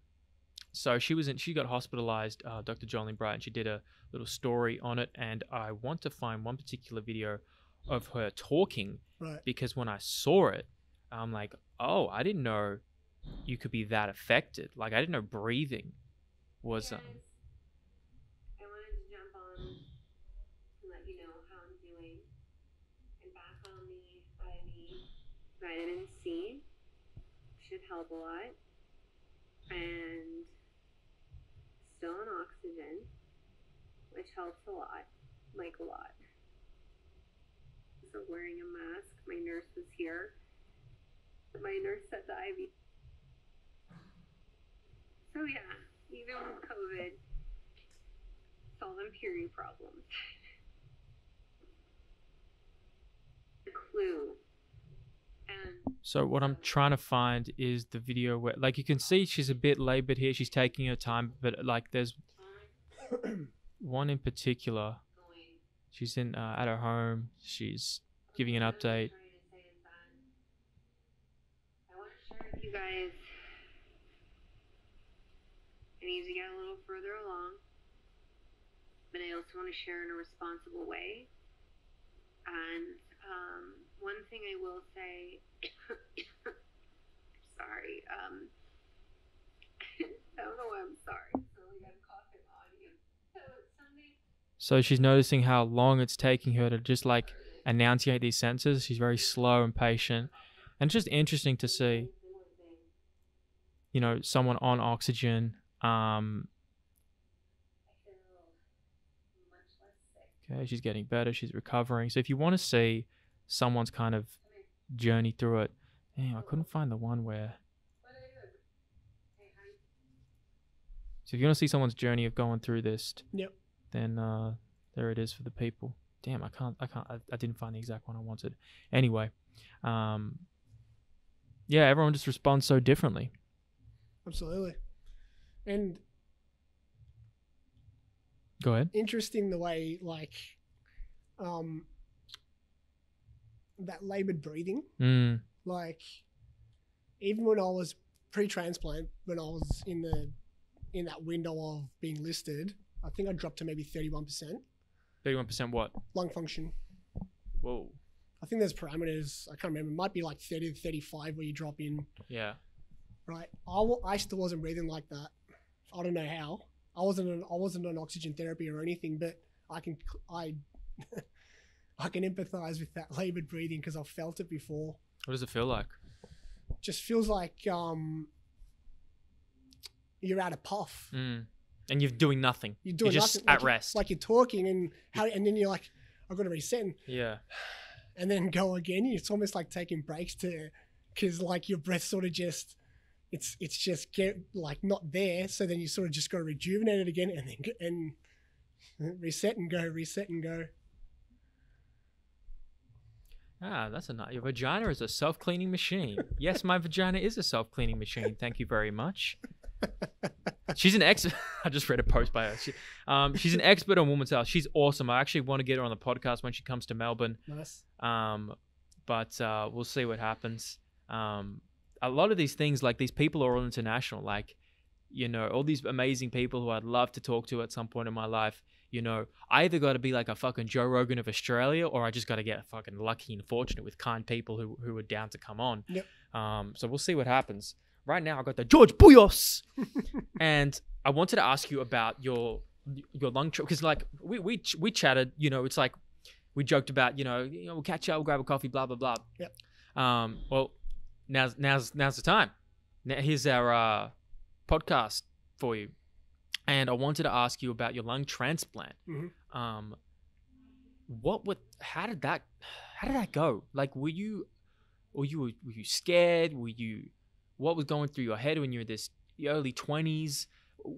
What's the chance of you dying from the transplant? Because there's always a risk there. Yeah.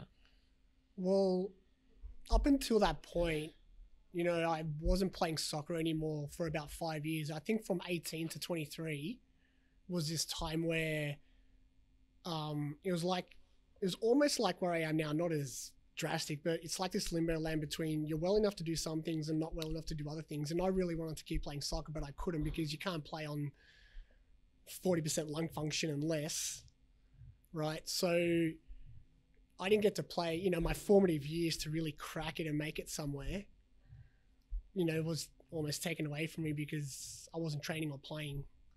So by the time it came around to me having it, I was more than ready. I wasn't scared a bit. You know what I mean? I was even petitioning to try to get it early as I Really? could. And they're like, you got to drop a bit further. But then the thing is, you can't drop too far where you won't make it through the operation because it's a nine hour operation. Whoa.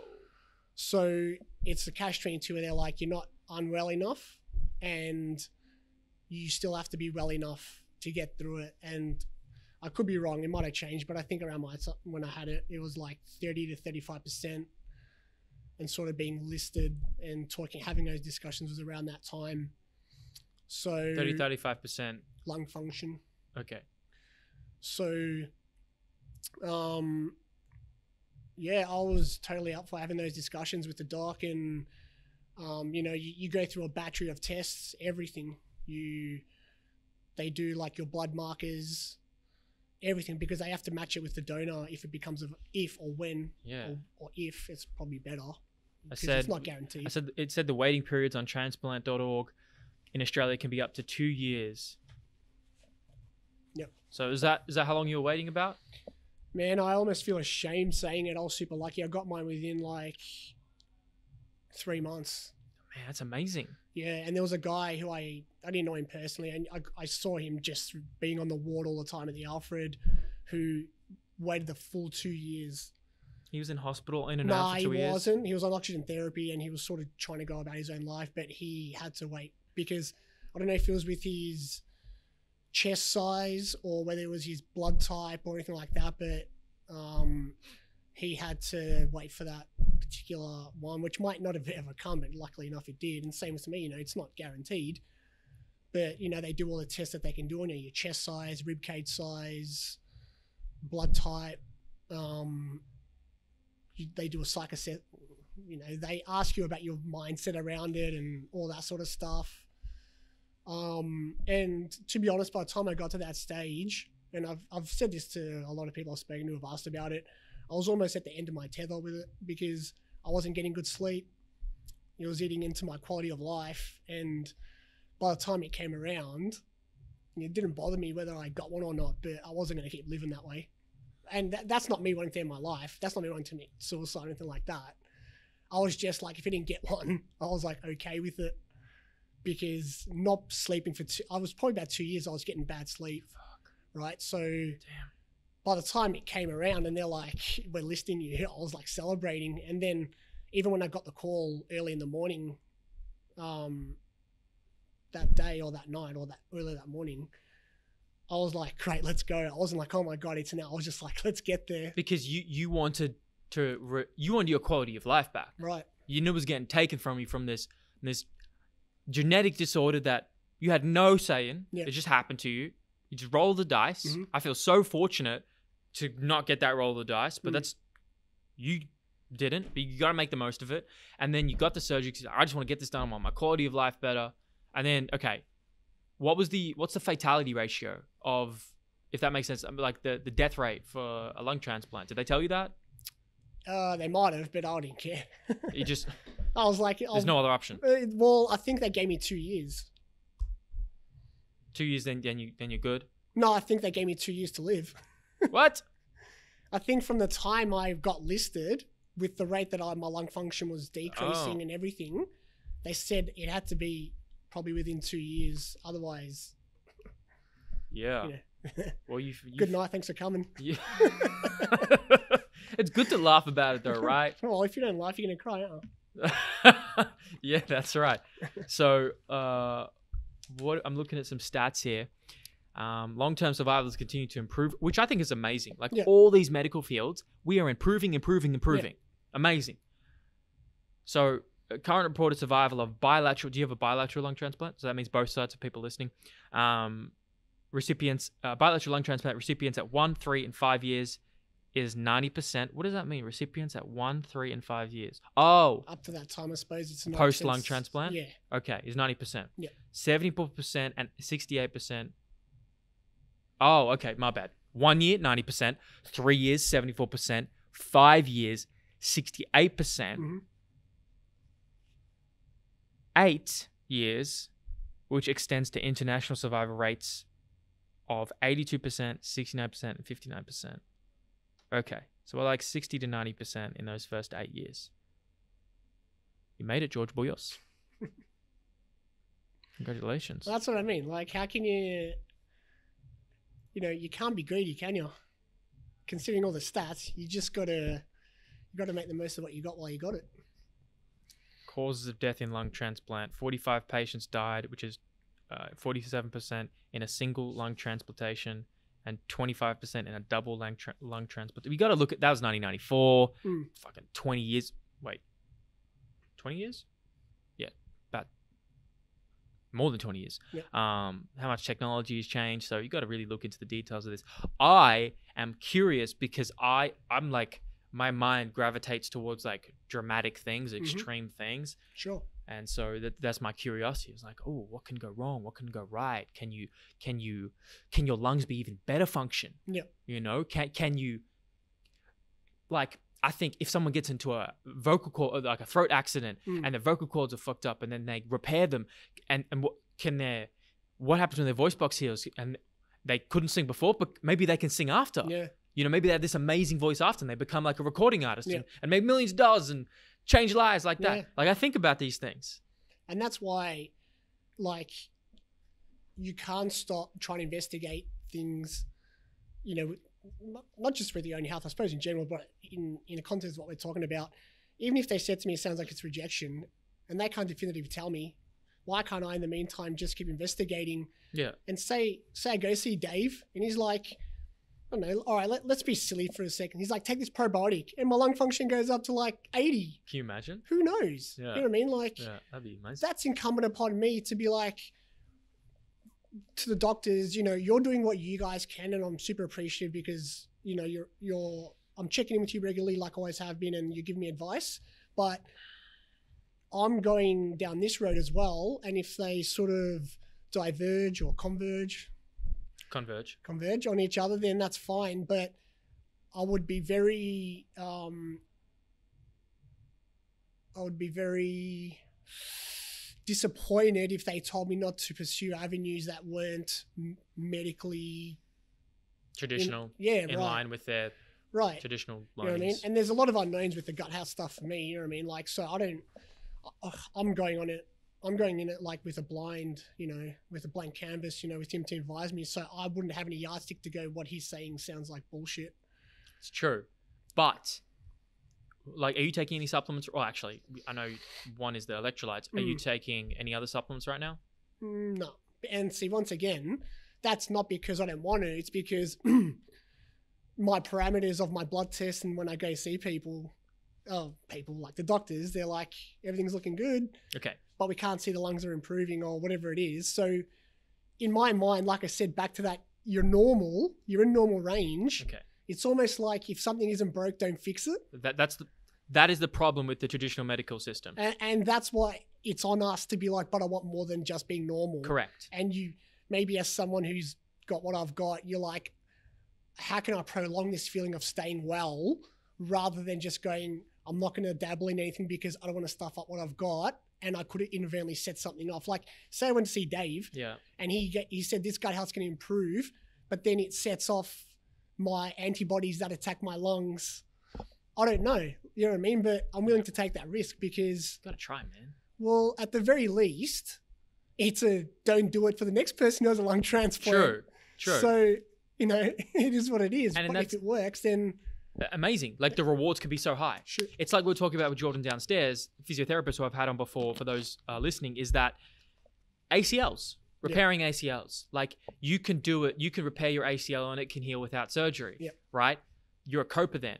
But after three months of trying to heal it, you may get some, uh, uh, what do they call them? Um, well, you know, you may not be still structurally stable, and you may you, you may have uh, points of instability or accidents of instability, and you may need to get the surgery. But you tried, Yep. right? And now you know. Mm.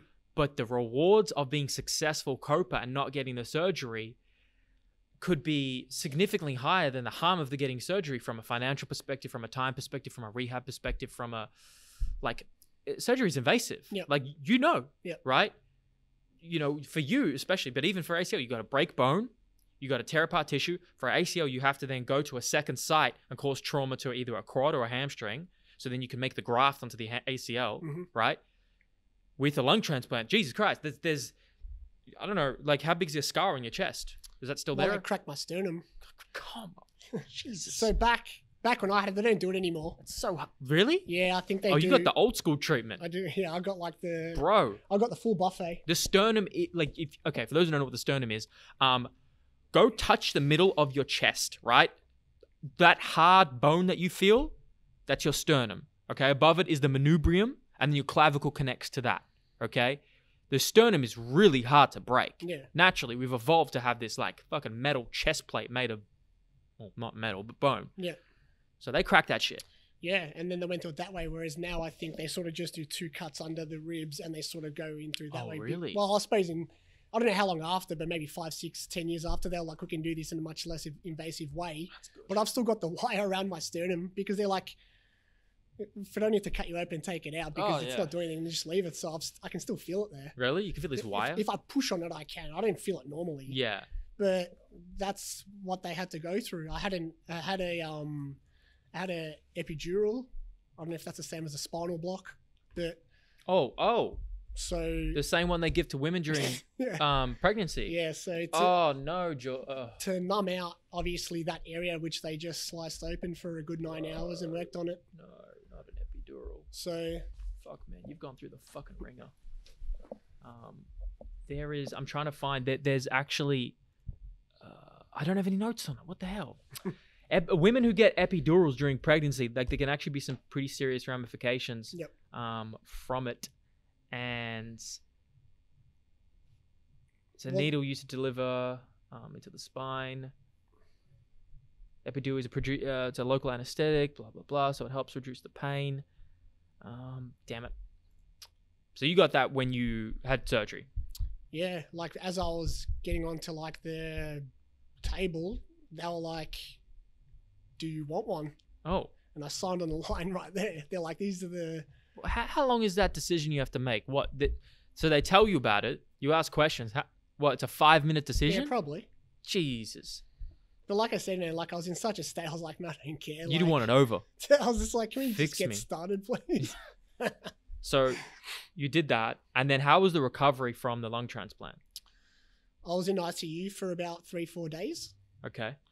Um, and then I got moved up to the ward, and then I was up there for about two, two and a half weeks, and I had like chest tubes, chest, chest drainers. A lot of fluid retention. Well, yeah, edema. so they got to drain it out. So the funny thing was, um, I had to come under a certain amount of draining each day, and I, I kept hitting that target more than that. And they're like, "We can't let you go until you stop sort of draining so much. Yeah. And then, funnily enough, the one of the doctors one day was like, "How about we just patch it up because maybe it's draining because there's an outlet and it just drains because it, there's something there for it to go." So they patched me up, and, Sounds like they didn't even know. and like one or two days later, I was out. so I could have been maybe out within a week, but I don't know. It is what it is. That's so odd. So it sounds like they were just like draining it, and it's like imagine it's like a, a hole that just keeps leaking liquid, right? Well, yeah. The fluid just keeps filling because fluid is a normal part of lu- lung function. Well, I suppose most people it would have just it ends up sort of tapering off. Ah, but I for imagine. me, Oh, okay. and Okay, in the process, I actually got a, a pneumothorax. I got a collapsed lung. you did, Yeah. bro. I have one of my clients who I coach. He's an a- he's an AFL athlete, Mm. football athlete. He's had three Right. spontaneous lung pneumothoraxes. Yeah. One time he was with me. Okay. We were doing a, a, a session. Right. Um, this was his third one, his most recent one early this year. We were doing a speed session. Uh, one of the first ones coming back, and you know, titrating up carefully, right? Trying to be as reasonable as possible, getting him back weight training and everything. And he, well, we, he was resting, and he noticed like he was starting to go pale. He was starting to, you know, get a shortness of breath. He was starting to feel things went wrong, and it was happening. And so I was trying to do everything possible to calm him down because I don't know. Were you conscious when you had your lung pneumothorax? Yeah, I was, but uh, like, You were in hospital. and I had the spinal block in, so it was probably the symptoms were probably like, what's the word? They were um, Dampened, reduced. Yes, that's a great word. Dampened. And so I was like, I'm finding it a bit hard to breathe. I don't know if they sent me for, I can't remember, they sent me for an x ray and they came back and then literally, like, right there on the bed, they're like, little cut, like anesthetic, little cut, put the tube in to drain it. And then I had it in for maybe half a day and then they're like, all right, patch it up. Yeah, that's a pretty invasive surgery. They got to use like talcum powder. I don't know if you know the surgery, but they use this like um, uh, one of them is they use like this powder to help uh, cover it and heal it. Mm. Um, but did they ever talk about you like if you've had one pneumothorax, then you know you I think you're more well at least in his case he's more predisposed to it's just a condition he gets spontaneous throughout his lifetime.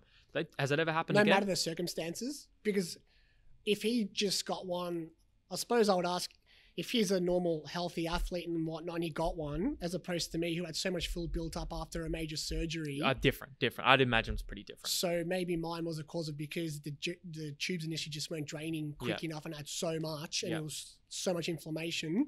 Eventually got into like you know the cavity and they're like, you know, it is what it is. So that would be my only question around that whether I'm prone to still getting it as much if mine was maybe surgery related.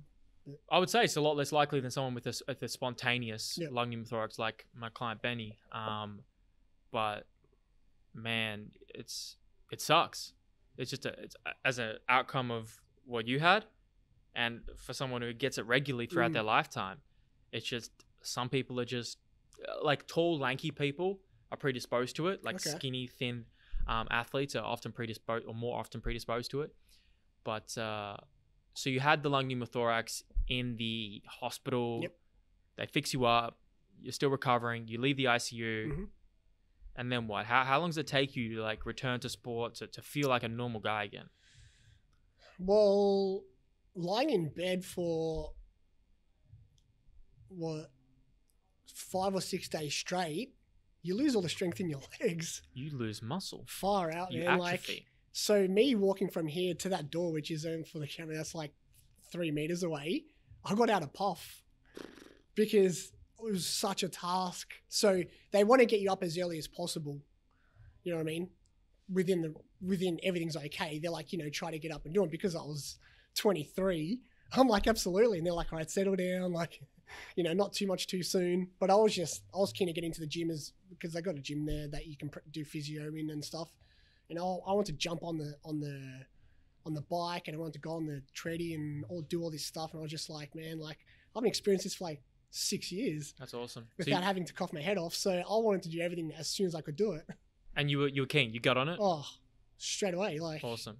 That's gonna help your recovery so much. hundred percent, and it did. You know what I mean? So then after that, I was like, I want to get back into soccer as quick as possible, and I think I've waited maybe six months to the next preseason.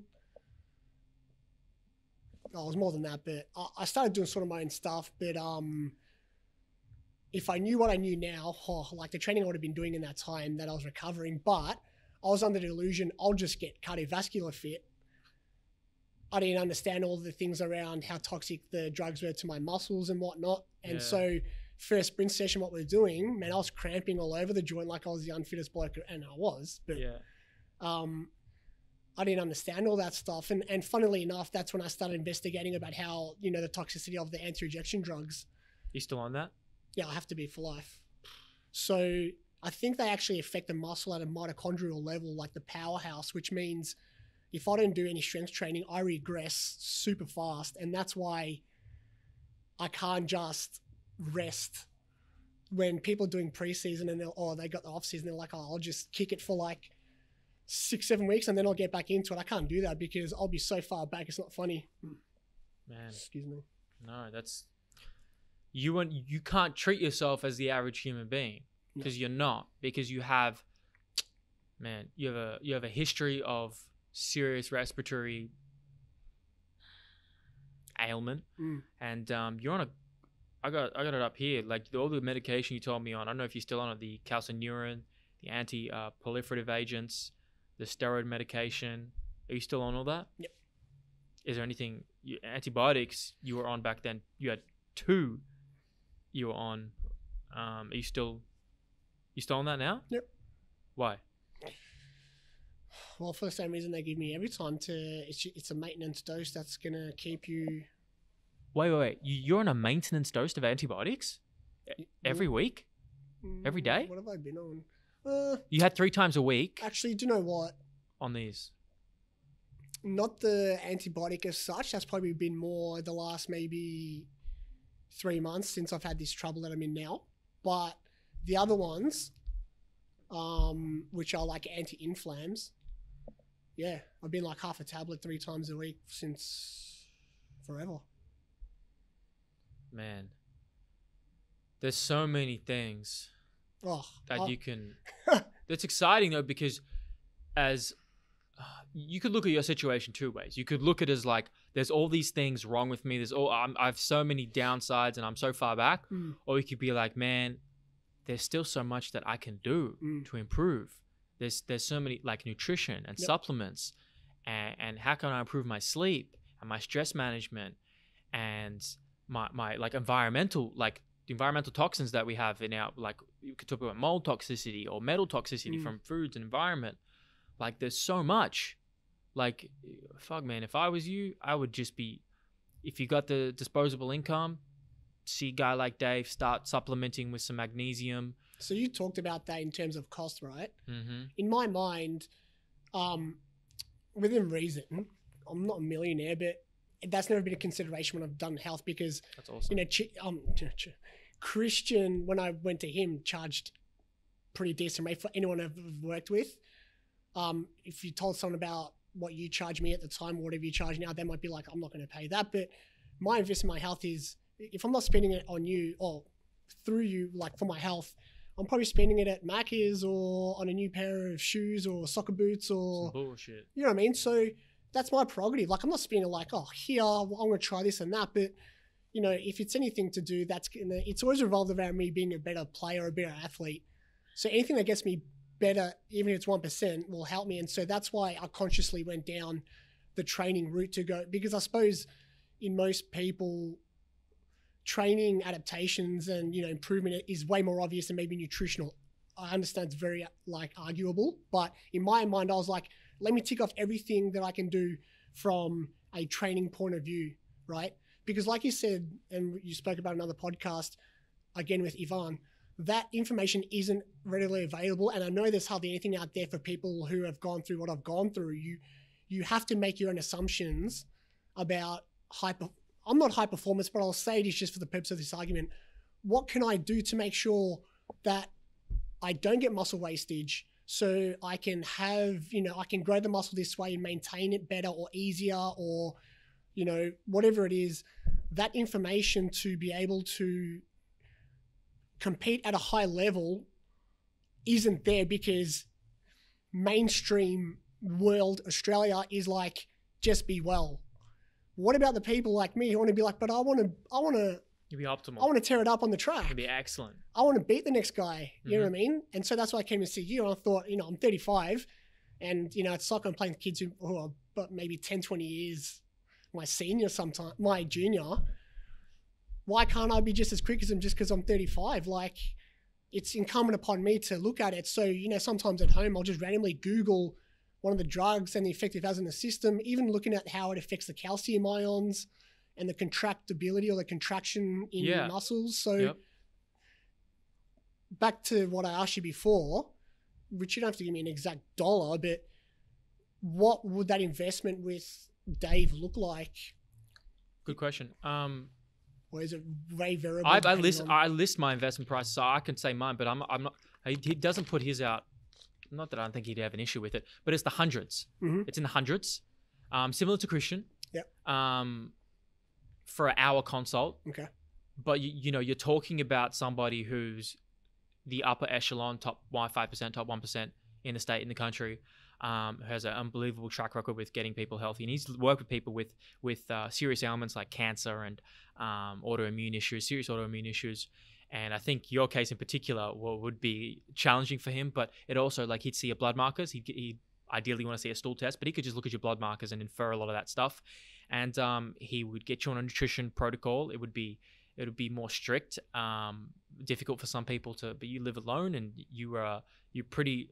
I, I coach you, man. You, you say something, you gonna fucking do it. Yeah. So respect.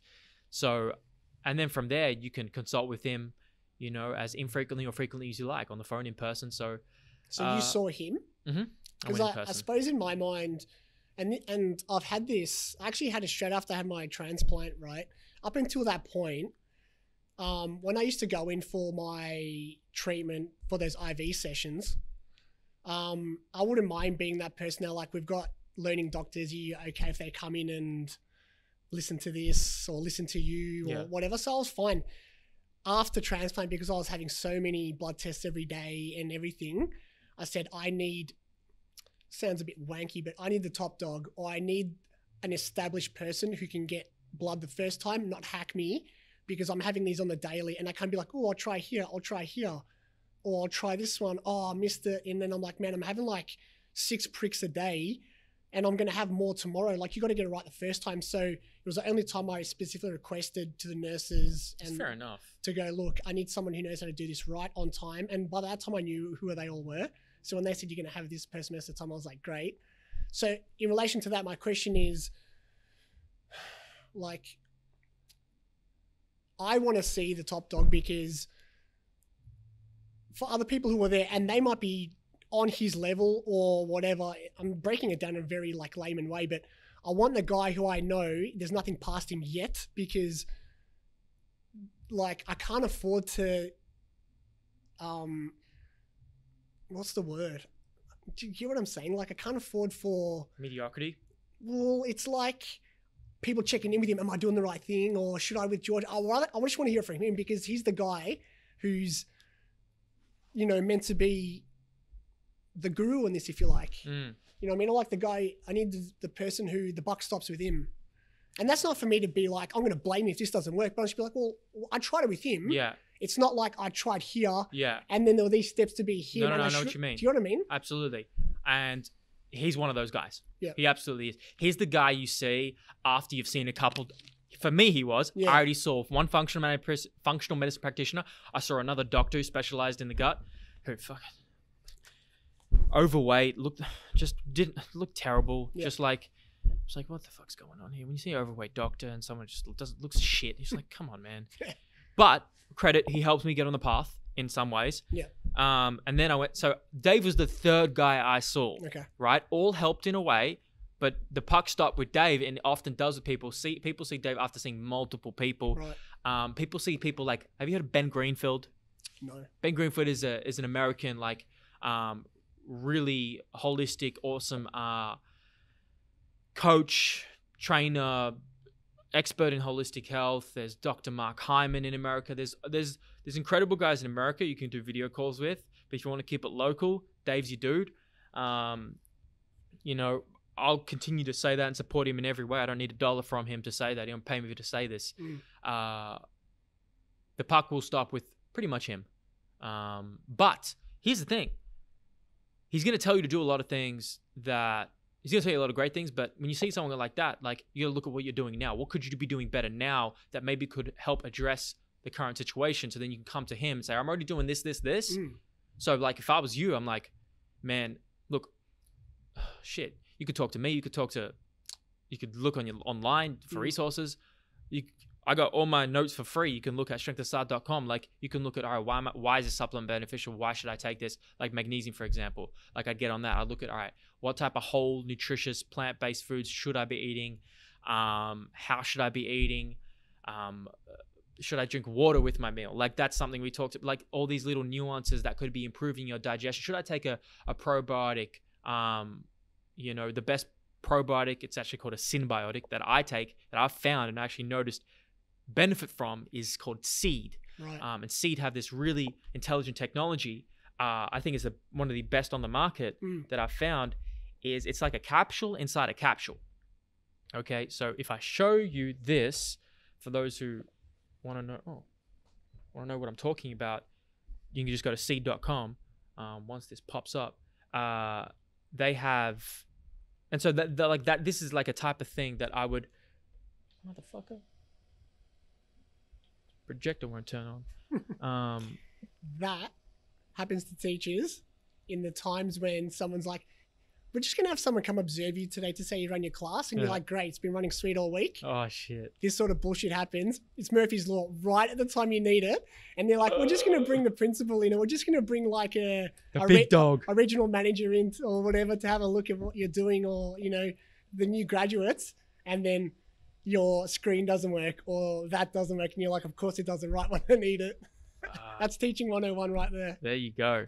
well, it's it's finally coming up. It just uh it, it took a sleep. Um so if you if for those listening, if you want to try a there's difference between probiotic, prebiotic, and this they call themselves a, a synbiotic. Right. Um, and uh, Daily Synbiotic was developed for systemic benefits beyond digestive health. Beneficial macros can play uh, a systems wide role in human health alongside diet, exercise, and lifestyle. Uh, I want to show exactly their because they show a really nice diagram on their website. Yep. Um, here it is. Thank you, Seed.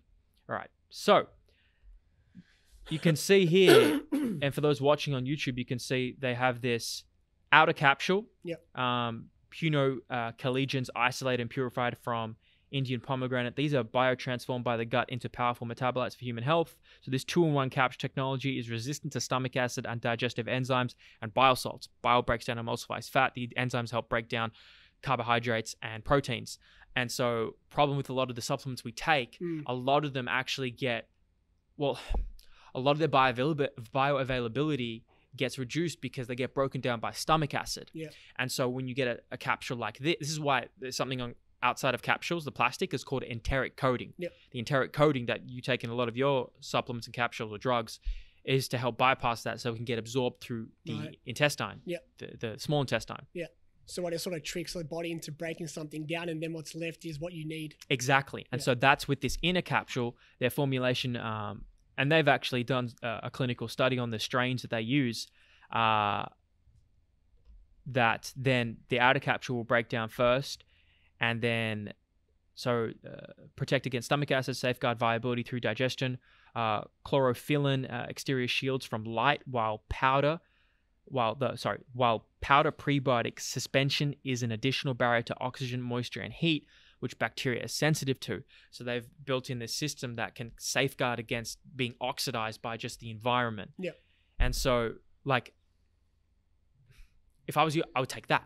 I would um, I take a magnesium. I would take. Do you take vitamin D? I used to Okay. like Ostelin. What was it? Maybe that's not one. I'm not sure. Anyway, No, that's that's Yep. I, I can't recall uh, Ostelin. Um, but vitamin D, Yeah. like, it's not just a vitamin; it's a steroidal hormone. Mhm. So I'll put it in perspective. Like Rhonda Patrick put it in perspective really well on Rogan's podcast. Imagine like you were, imagine you had like no testosterone or very little testosterone. Man, you you would be lethargic. You wouldn't be able to get bonus properly. You wouldn't be able to sleep properly. You wouldn't be able to put on muscle mass and maintain muscle mass well. right. Okay. Now, vitamin D Mm. has all of its own like implications. And so, oh, look at that right here. Being this super important steroidal hormone Yep. that so many people are deficient in. Yep. It's unbelievable. And like more than half of the population in Western population, I'm standardizing America and Australia, uh, don't have sufficient levels Right. and there's like a, about a quarter is deficient. And so vitamin D is a hormone that actually controls the the regulation of 124th of the human genome, okay, which is about 5-ish percent if I recall correctly. So the expression of 124th of genes, okay? You can so when that vitamin D is deficient, Mm. bad shit goes wrong. It says at the bottom there about preventing respiratory illness. Oh You know yeah. I mean, so it talked about, you know, obviously with people who are deficient it's 50%, but then those who are normal by 10%. So you're still getting, there's still some level of improvement no matter what, isn't Yeah. there? Yeah. Exactly. See, like like I was saying before, when they're telling me my bloods are in the normal range, as as a normal pleb in, in You're like, okay. in society, exactly. I'm, it's like it comes back to if it ain't broke, don't fix it. I'm already dealing with this other stuff going on. Why am I going to look into this stuff when, in actual fact, maybe this stuff will get me to where I need to be, which Right. is how my mindset's changed. Right. In the past, it's you're in the normal range, you're fine, keep doing what you're doing. Now it should be you're in the normal range, but you can be doing more. especially for you, like you have a special scenario where I think I would imagine, and this is my theory. Yep. For someone who's had like a serious um, transplant like yourself, okay, your body, I w- one would assume naturally, common sense, would not be as efficient at regulating homeostasis. It would you would homeostasis being a, a balance. Yep. And so you would assume because of, especially from a respiratory perspective, your respiratory system especially needs more uh, resources Mm. to regulate itself. Yep. So just from that uh, theory, that is a bit of common sense too. Well, for example, I'll give you a, if you're more stressed, your body's going to deplete more ome- uh, omega fatty acids, um, more vitamins, more minerals. It's going to pull things like like essential minerals like magnesium because Yep. it needs them. Um, it's going to deplete more electrolytes, especially when you sweat a lot. And so, if you're not replenishing adequately, and this is why, especially sodium, Mm. nutrition science will tell you salt is bad. We consume way too much sodium, 2,300 milligrams a day only. Okay, great. Maybe for the average fat ass, but gee, I tried to say ass and ass. I'm just my Australian American hybrid. You get it. But the athlete is different. Yep. And this is this is exactly alludes to the point of like traditional medicine telling you you're in the normal range. Yep. Okay. Only consume 2,300 milli, 2.3 grams of salt per day. Well, maybe for you, Mm. because you don't exercise every day, Yeah. because you don't have a high sweat rate, right? But maybe for me or George or the the, the athlete, he needs double that. Mm. Why? Because sodium actually is the highest electrolyte, well, sorry, the highest abundance electrolyte that is lost through sweat. Right. Sodium and magnesium and potassium are all critical, critical minerals and electrolytes that uh, play a role in every single action potential, every single muscle muscular contraction. Mm. Okay, and we can see that through uh, electrical impulses. You can see like we have these sodium and potassium and calcium pumps and ion channels that open and close and they release and and so this is really important. And so when you talk about traditional medicine, you're in the normal range, George. I'm in the normal range. Mm. What's the normal range? Exactly. Let's think about it for a second. Oh, the normal ranges are actually based on the average populations. Yeah. Cool. Which is from when as well. Duration is important too. Yeah. They change, they update them every whatever it is. Um, I think it's like every five to 10 years, depends on the marker. It's not every week, it's not every Yeah, month, it's not every year. So they update these markers, and the markers are based on the average population. Okay, someone tell me what the average population is. I can tell you. The Australia, about uh, about sixty to sixty five percent of adult adult males and females are overweight and obese. 60 to 65%. Okay. That's about two thirds of the Australian popu- adult population, male and female, is overweight or obese. Okay, cool. So, that gives you an idea that we're basing our markers, our, our ranges on a sick society, Mm. on an unhealthy society. Yep. So when they tell you, George, someone who probably needs to be in a lot more optimal ranges more than a guy like me, Mm. because if my shit goes wrong, I have less to go. Yeah. Oh, sorry. I have I have like I have like such a bigger range to go Yeah. theoretically. You you would assume someone who's gone through what you've gone through, you have a tighter range to operate within before shit exacerbates. Yeah, small error margin. Ex- thank you. Exactly. Well said. And so for a guy like you, I'd say, all right, we can't be adequate and we cannot be insufficient Mm. and we definitely cannot be deficient if we want to live a long, healthy life where we don't have to deal with a sudden fucking drop in respiratory function that is unknown. Mm. I don't know what could have happened if you were doing all these great gut health things and supplements and getting great sunlight and stress. I don't know. Yeah. But you would assume it'd be better, right? for sure. And so you said, like what you showed before, that's the seed one. Yes. You said you like you were so adamant that you felt difference. What was it? Oh, um, stool, stool quality. Okay. Um, a stool quality is a is a really important marker of gut health. I mean, it's the most uh, tangible and, and visceral. No one likes talking about though, do they? But really, Oh, yeah. Like when you go to the toilet, like you know straight up whether you're whether you're well or unwell, don't yeah, you? yeah, you, Like, it's there. yeah, exactly. like if you want an assessment of your gut health, Yeah. like that's that's one of the quickest daily markers, right? Are you consistent? Do you do you uh, have daily bowel movements or um, even multiple day? For example, a guy like me consuming three to four thousand plus calories, Mm. uh, ebbing flowing between that, two to three times per day, bowel movements is is expected and normal, Okay. right? Or are you constipated? Are you going every couple of days? Like, you know, I don't know if you saw uh, Red Table Talk. Have you heard of that with Will Smith and the Smith family? No. So Will Smith's wife, Jada, that she does this um, Facebook show called Red Table Talk. And they had a doctor on and they Dr. Mark Hyman and they were doing all their blood tests and stool tests and they were just wanted to put out to the world, we're getting healthy. Like it's really important to us. Will Smith put out there, man's constipated. He was going every couple days Okay. right? For a guy his size who eats as much as him to maintain his size, that is abnormal and unhealthy. Yep. Right? That should not be happening. And there could be a number of reasons why that's happening. So I'm not going to get into why. But I noticed taking that seed synbiotic out of all the probiotics I've taken, did the best job at improving uh, my stool quality pretty quickly. Yep.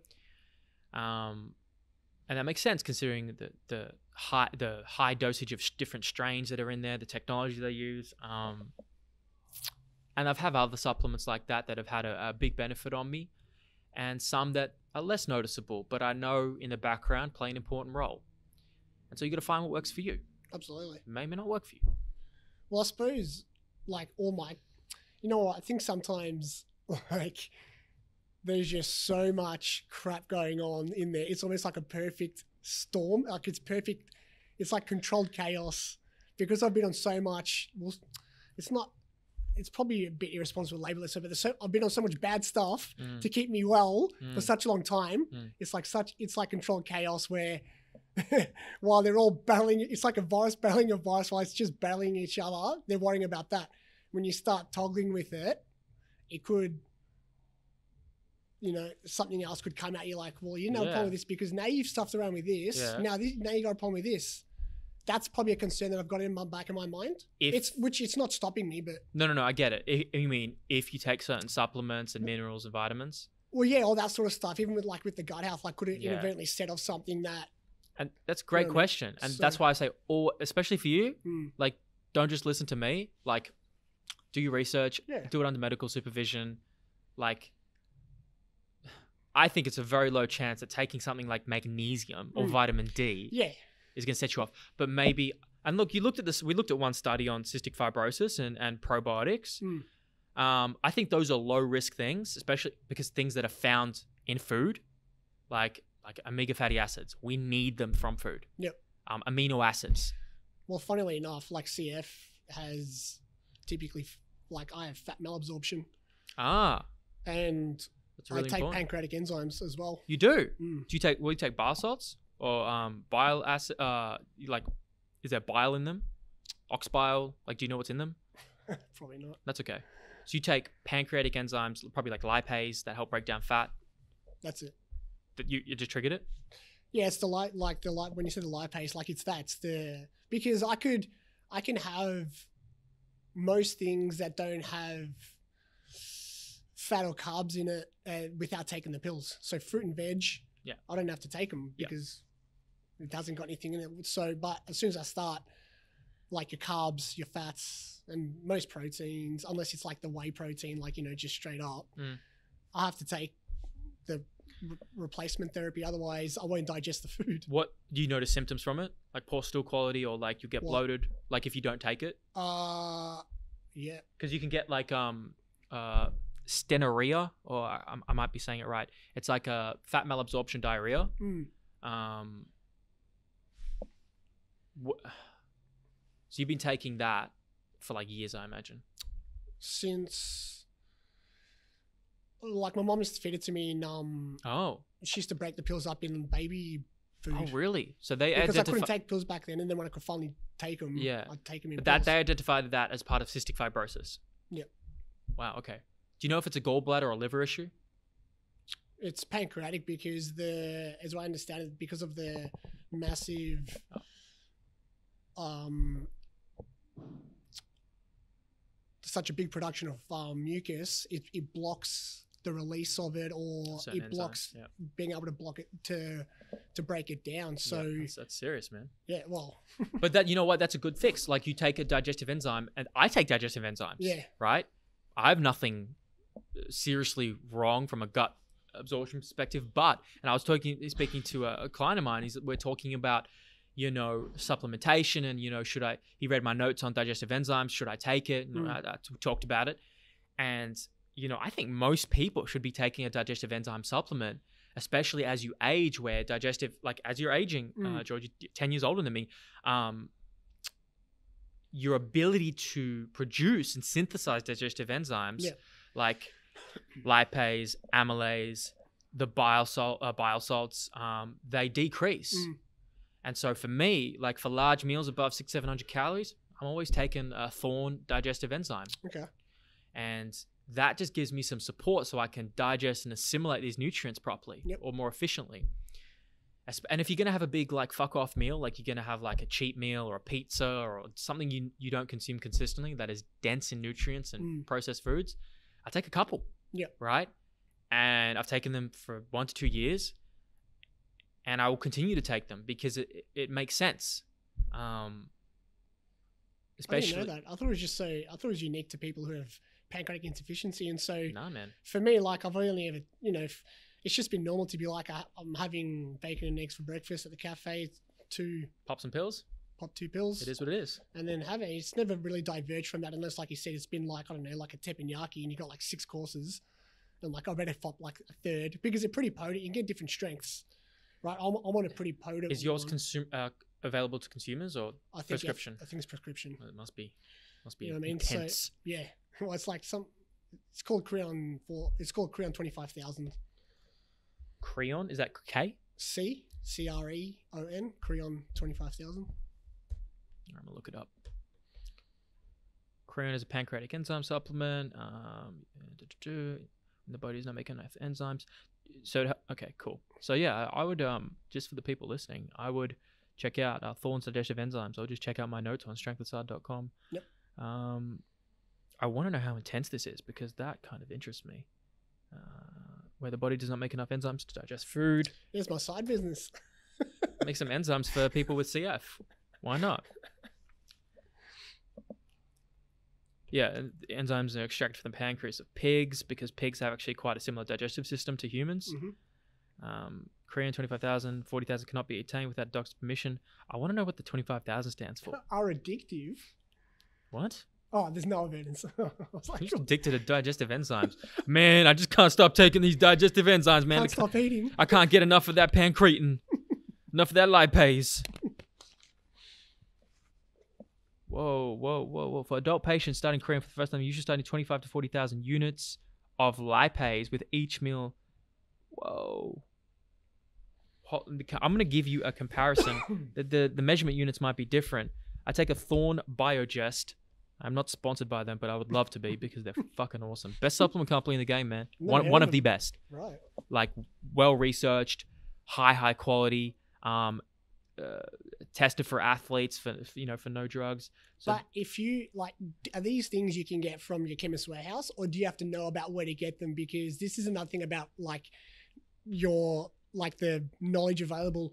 If you said to like to the people listening or watching this, Yeah. go grab it. Yeah. Do you have to tell them where, or they just go up and up and down the aisle at chemist warehouse and be like, bang? Oh, you they are? probably won't find Thorne in person, but you can find digestive enzymes at your local chemist. Yeah. Um, this one in particular, you can get from iHerb, which is a like an online chemist that sells a cornucopia of different supplements that I go to all the time. Um, so they aggregate from all across the world, and so that that's that's what I take. Yep. Um, I can't compare the units. I, I just don't know. But look, man, you're taking a fucking load, a load of them. I've got like a smorgasbord of stuff I take, so Yeah. I mean, I thought I took a load of supplements for you. You would you go ham. You need to. But I suppose, like you were saying before, the the part that intrigues me, and this is the reason why I'm I'm sort of like why Dave's podcast really resonated with me is because maybe, you know, to to put it again in layman's terms, I could be so far back in my gut that even the smallest increase is going to make me feel better or give me benefits. Does that make sense? Absolutely. It's like I'm below negative. Yep. So if the closer I am to zero, Yep. I should theoretically be feeling better or seeing benefits because, you know, I've been I'm I'm so far in the negative, if you want to put it that way. It might not necessarily be, but I'm so far that, you know, um, getting onto a new regime to promote it rather than just fix it is a different way of thinking that's that could get me a place that I've never been before. Agreed. 100% because you, there's some people that are at a point of diminishing returns. Yeah. Like they're really healthy and they're dialed in and, and doing a little bit or doing a lot is going to have a minimal difference. But for you, for people who, most people who are far back, Mm. who are just, man, you know how many people just live with fucking pain and discomfort and like, oh, I just bloat. Oh, they just get used to it. Oh, I have a headache and a migraine. I used to have a friend, uh, Leslie, who uh, fr- um, from America, li- lives in Tucson, like, and she would constantly get migraines. And she was she, she was a bit younger than me. She was like like a uh, she would have been 18 at the time or something, and she just lived with it. And I was like later on thinking, and I, I told her one time like it might be like nutrition related. I was you know diving into nutrition deeply, and people just live with suffering like that, especially when they're young, migraines, headaches, and fatigue. And I'm like, you don't have to, man. You you don't have to. It almost becomes a new norm, though, doesn't it? Yes. And see, like, I, I suppose maybe one of the things that could work against people who have things like I have is you become so used to not feeling well that even if even if you have a minor ailment which may be big, you're like, this is nothing compared to what I've al- al- already experienced over the last 10, 20 years. You know what I mean? Mm. So you might not be as inclined to go check, get checked out. You know what I mean? So I was thinking about that the other day. I thought maybe there's things I should have gone to the doctor earlier for or, or asked questions about, but because in relation to how bad I've gotten, you know, like it's not that bad. I haven't been hospitalized. This is this is what I'm talking about. It's called the hedonic set point. It's a baseline for like your well, it's the baseline for like happiness, but it's also like anything you compare it to. Yeah. So basically, people's hedonic set point changes depending on how they feel over their lifetime. Mhm. And so what I'm saying, okay, intensity of primary effect at the top, intensity of effective after reaction, and so you have this adaptation, right? Hmm, I don't like that graph. You have this basically this adaptation. Yeah, this this is probably better. Cool. Um, so, man, these graphs are kind of difficult to explain in just off the two seconds I'm looking at it. But you get this decline. Oh no, this is good. Homeostatic defense. You have this lower threshold in homeostasis Yep. slowly over the years. Okay, and I'm interpreting this probably in a different way that it's being um, drawn. Yep. But to de- demonstrate the point, say you're up here. All right, I'm young. I feel good. I'm robust Mm. and over my lifetime just stress nutrition stress environmental stress no ch- poor training and exercise regimes and you can't slowly slowly slowly adjust this baseline this Yeah. homeostatic baseline when you should be keeping Yeah. even when you get challenged to go, hold on a second, I'm still, it's not like I've gone through shit. Just getting back to here's okay now. It might be initially because you're like, far, I've gone through crap, just improve, any improvement's good. But you're trying to get back to that initial feeling that you had because when you drop so low, Mm-hmm. you know, you could get, I suppose in your own mind, it, it's, it's subjective, but you could be like, this is how I was feeling a year ago and I haven't felt that for ages until I started doing it and then bang, I'm back up to where I was a year ago. Sure. You know what I mean? So it's funny at school. This made me think of it. We've got each classroom or whatever has got these things called catastrophe scales. Have you heard of them? No. So basically, they're just a very um, easy version for the kids to look at it and go, you know, when shit goes down in class or whatever in their lives, it's just got a massive scale with different things about is it really as bad as it is? Tell me, like, according to this, or how you feel, whether it's that bad. So it gives hmm. them an opportunity to be able to articulate, and you can see with kids how bad things are. And when Ivan was talking about, I want kids to come to me with their problems like the way they couldn't come to their teachers initially, I think that's changing a lot. You know, it's it's been changing for a long time, but you know, talking about our different roles, we've got welfare people in our school, but I know for a fact, especially where I'm working now, the teachers who are at the coalface teaching these kids, we're we're their first we're the first person that they usually open up to Yeah. and if they don't, we find or see little nuances and changes in their behavior or their attitude to be able to ask the question, at which point it's up to them whether they open up to you or not. But it's a good way for them to be able to be like, you know, how, all right, you got in a punch on at lunchtime, catastrophe scale, you know, you say you've got student A, student B student A might be like, punch on, whatever. Like, you pissed me off, smashed him, whatevs. The other kid might be like, I've never been in a fight in my life, and the emotion, you know, the emotive toll on them Yeah. Is huge because they're like, I've never been hit before. I, you know, I'm scared to come to school the next day.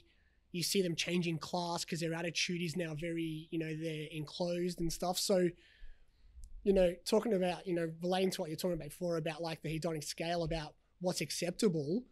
I suppose with kids, this is a really good way to be able to at least get them talking to go, but how are you feeling at the start of the year? I was like this, okay, but why is this dropped? And then you can start having that conversation about what's going to help them get back to how they were feeling depending on what it was because you know and it sounds stupid but some kids in class someone takes their pencil or their rubber which their mum or dad bought for them because they wanted to be prepared in class and good to go that could set them off Yeah. they're man. like nah you know i mean that could absolutely crack it another kid could be like i'm giving my new workbook to that kid and i'm giving my new workbook to that kid because i don't have one i want them to have it and then the parents are like, why did you do that? He's like, well, they didn't have one. They're like, we paid. And then, you know, then this big thing comes around and they didn't see it as a big catastrophe because they're like, it's just a book. Another Mm. kid be like, my parents bought me that book. I'll smash if you take, you know what I mean? So it, it's a regulation of their, of how they perceive things Yeah. that's going to help them to get back to their happiest. it's a regulation of, of perception of stress. Yeah. Um, man, that's you must see quite a bit. Like the tr- I'm gonna say the trauma that kids experience growing up. Like, what have you seen and experienced? Um, well, there's a range of things that I've seen over the years. Like, if you could probably name it, I could say I've seen or heard of it. You know, a lot of the times at schools, um, there's always an ongoing um, dialogue with DHS? Department of Human Services, or Health Oh, and yeah. Human Services, DHHS. Yep. Um, you know, protect to protect kids. There's a lot of single parent families.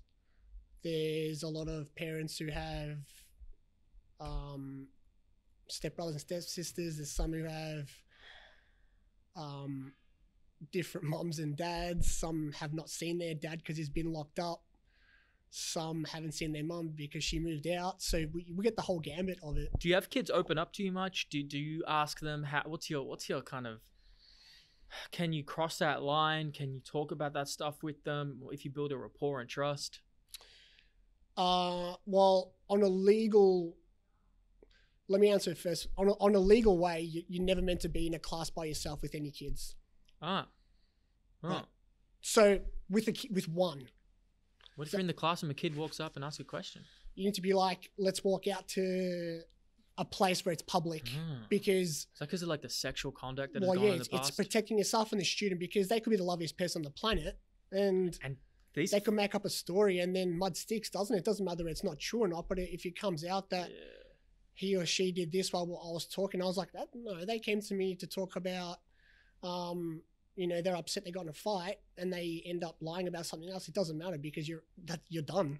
It makes sense. So, in relation to the other question, I place a big emphasis on welfare. Like I like doing meditation in my class. I, I the easiest thing for the kids to have in my class is the smiling mind app. You know what I mean? Like quite a few years ago, we had um, a PED, which probably was one of the best ones that I've ever done at our school. Was called the Resilience Project by Hugh van Cuylenburg. Runs it. Have you heard of it? No. So he's he, he's done a lot of things with a lot of people now. Like he's worked with rugby league teams, AFL, you know, all these other people. But at the time we had him, he was sort of just starting out, and we were lucky enough to get him very early doors.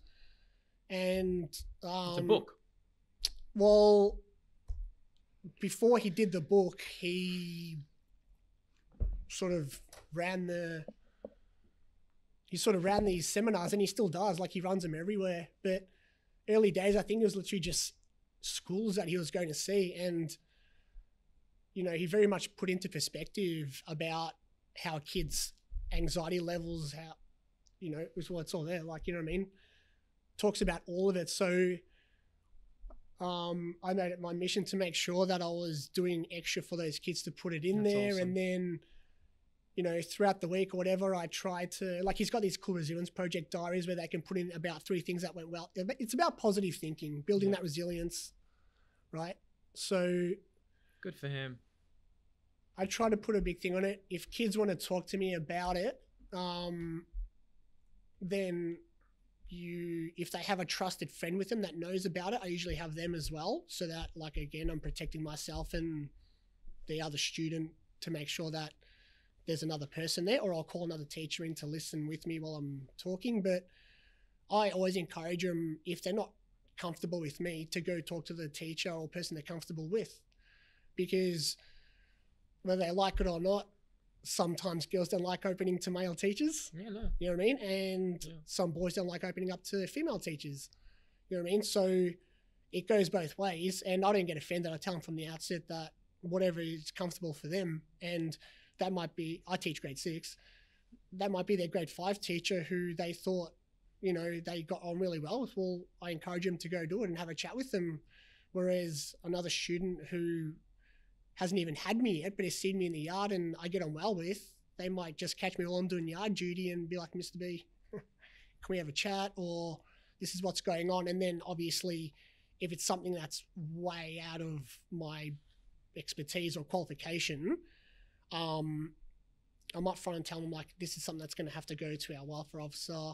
And the reaction sometimes you get to vary. They're like, okay, and other times they're like, it's almost like official if it goes there. So they get very, um, they get very anxious um, because they think then it's going to go to their parents, and if it's about their parents, they're going to get in trouble Ah, and then that could be a physical or a mental Oh, consequence, right?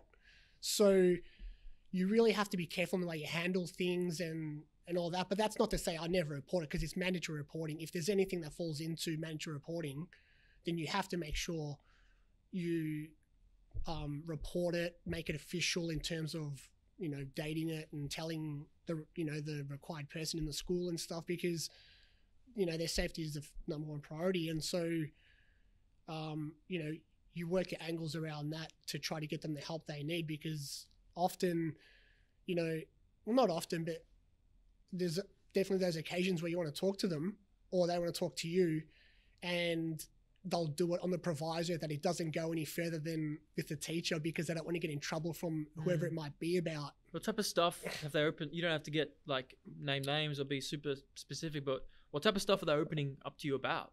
Like, what are some topics that you usually? a lot of it's a, these days it's a lot about online bullying. Yeah. So what they do outside of school, we have like almost no control over within reason. But a lot of it, you know, it's stuff that could kick off at school, and then at night or messenger or whatever, it's just relentless. Different, man. It's relentless, and so, um, you know, and that's like one part. Like, there's other teachers who have experienced way more, but Like what? while child abuse, anything, right? It's it's it's open slather. Like, You seen that?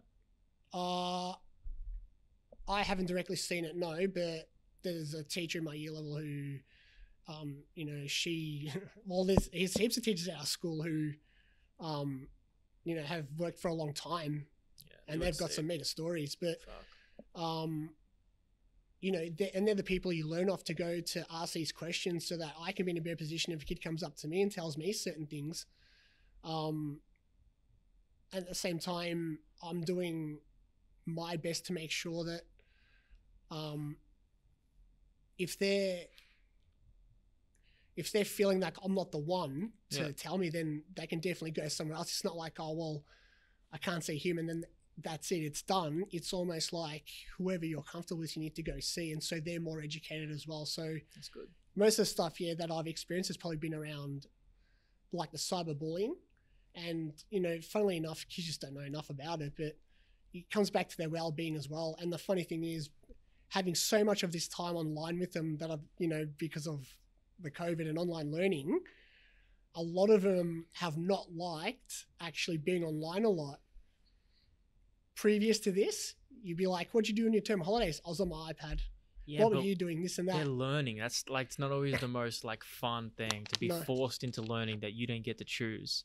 So that doesn't surprise me. That's true, but even after they log off, they're like, I don't want to go on my iPad. I don't even want to watch Netflix. I don't know Huh. what to do with myself because yeah. in the past, them relaxing is going on the iPad, and they're like, I'm sick of it now. Yeah, you're associating it with something. So I said to Yeah, them the other day when we had our WebEx meeting, I was like, guys, this could be one of the, in a horrible way, this is one of the best things you might go through because it shows you that those online things, you know, too much, too much of one thing is is never good. You know, it's everything in moderation. So you're not getting what you need. And it's good that you're realizing at 12 years of age, you know, grade 6, 11, 12, that those online relationships aren't enough. You need to go see Mm. someone, hug them, Yep. high five them, kick the ball with them because you thought it was nice, but you can see that six, seven weeks of it is actually not that nice because it's relentless. You want to go and be like, man, I just want to go to the park. I just want to go kick the footy with them. You know what I mean? So, We need it, man. We need this. We're so soft. Like we didn't like this is such good times Yeah. overall. Even still through this, like it's so, it's still so good, yeah, right? Like just our parents and parents' parents. Like, man, I don't even want to start. It's like it's just so much.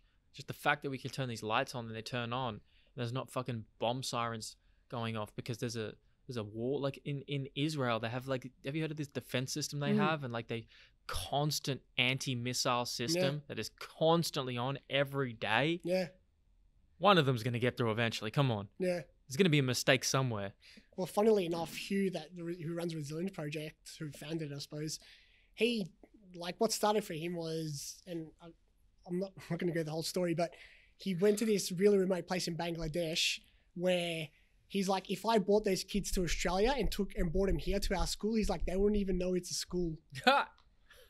no shit. He's like, unless there were kids here, he's like, they wouldn't know it's a school. yeah. and he showed them dancing. Um, they were in like a really broken pa- playground with like a swing that was busted off one of the chains. It was half hanging off, and they were like, "This is the best piece of equipment I've ever been on." So like his pillars are like gratitude, mindfulness, and empathy. But you need something to be taken away from you to realize how pressured it is, right? Yep. That's life. Yep. So you need someone to die and get sick around you for you to appreciate this. Mm. And I think we don't get enough of that. And it's almost and it, because it's great times. Great Mm. times create soft people. Yeah, And so that's what we've become. And so we need to get hardened. yeah, So guess what? Deal with it. Great. You're anxious, you're depressed, you're sad, you're unemployed, you're losing money. Maybe your friend got sick. Maybe you're sick. Maybe you know someone who died. Good.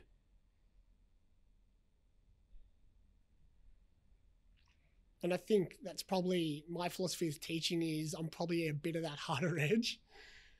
I need a little bit of it. So there's- softer and there's time to be soft and there's time to be hard. Absolutely, and and probably that probably puts a few kids off being able to talk to me because maybe it creates Yeah. this perception, and that's I I can live with that, and that's why I make sure I advise them that go see anyone you like. It's Yeah. not about me finding out that you went to someone else you didn't come see me. Yeah. I'm like, I don't, I won't get offended. One Whatever. bit. It's not even about that. It's not about you. Exactly. And that's what I love about you, George. It's like it's about the kid. Right. And so that me that trade for me having a bit of that harder edge to be like, me telling you that this work is not good enough is not upset worthy. Yeah. You know what I mean? Like, and I try to give them examples like catastrophe scales again of things that could be worse. So me saying rather than dancing around it going, oh, that's a great effort, I'll be like, that's not good enough. Go back to your table and have another crack at this because I'm not accepting it. Well, wait till they start getting a job when they're Yeah, 16. the boss is like, You're preparing them. you're not, do- you. you're not doing enough. What about when that customer screams in their face that they put the wrong order through at Macca's and then they get their through food thrown in their face or something? Like that's extreme, but all of a sudden me telling you your writing's not good enough. Well, you're preparing them for life. Yeah. And I would be concerned. Like if I was a teacher, I feel like I would get fired pretty quickly because I feel like I would, you know, I would, I would obviously try and I would be kind and compassionate, but also, like I would, I would probably swear if it was natural and needed, right? And that's not always accepted. I would probably tell them stories about the difficulties and adversity and and crazy things about life when maybe oh they're too young to hear that. Yeah. Do you like? Do you feel like you have to still walk like a like a fine line because there's boundaries that these schools define, Sure. or do you feel like you could be completely yourself, or is it no? I have to set it back sometimes. I think I'm as close to myself without going over the line. Yeah. I can put it that way Yeah. because, What can you do? um, It's not your school. you know, I grew up, and most of the teachers know that I am like, I grew up playing uh, in a you know English, Irish, Welsh soccer club, Yeah, they're they're and they fucking this like, and fucking that. they swear like sailors. You know what I mean? And the first time I experienced, it, I was like twelve or thirteen, Yeah. and up until that stage, you know, you have the normal coach up until then going. Guys, train today, blah blah. Well, you go to these clubs and they're like, "Why the f did you do that? Why the f did you do this? And do you and better?" And blah blah. blah. And you know, my mum always said to me one day, she's like, "You're gonna you're gonna swear in class." I'm like, "Well, mum, if it happens that day, it is it is what it is, and I'll take I'll take whatever it is." But yeah, I, I think I go as close to the line as I can, being myself, because like talking about before about kids being honest, they will pick a phony out in two seconds, right? Mm. and not to diverge on a different subject, but I think that's one of the biggest bases that I give. My brother is your roughly your age, younger brother. When his friends were sort of doing wanting to go into teaching, they're doing CRT, emergency teacher work. They're theoretically the most disrespected teachers that ever come across in a school because kids are like sub teacher. This is sick. I'm not. I'm not doing anything today. Like who? I don't want to interrupt, but have you seen Ozark? no. Okay, keep going then. you know what I mean? So Yeah. Because kids are like, this is a bludge day. Blah, Yeah, miss, yeah. miss whatever's not here. Mr. This is sick. We're going to do jack shit for today, teacher. right? So I always say to people, if you can get, as an emergency teacher, if you can get kids to do their work and build rapport, like that is a huge string to your bow for when you get your own class. Because if you can build a relationship with kids that you meet maybe three times a year, if that, if you stay at that school, then why can't you do it with your own class who you spend the whole year with? You know what I mean? Meet you for the first time and you're like, this is, what are we doing today? I'm like, oh, well, like, I'm not doing that. Kick in the back, listen on my iPhone. I'll be like, let's negotiate on what we can get done. And then we build that rapport, have a bit of fun with them. Hmm.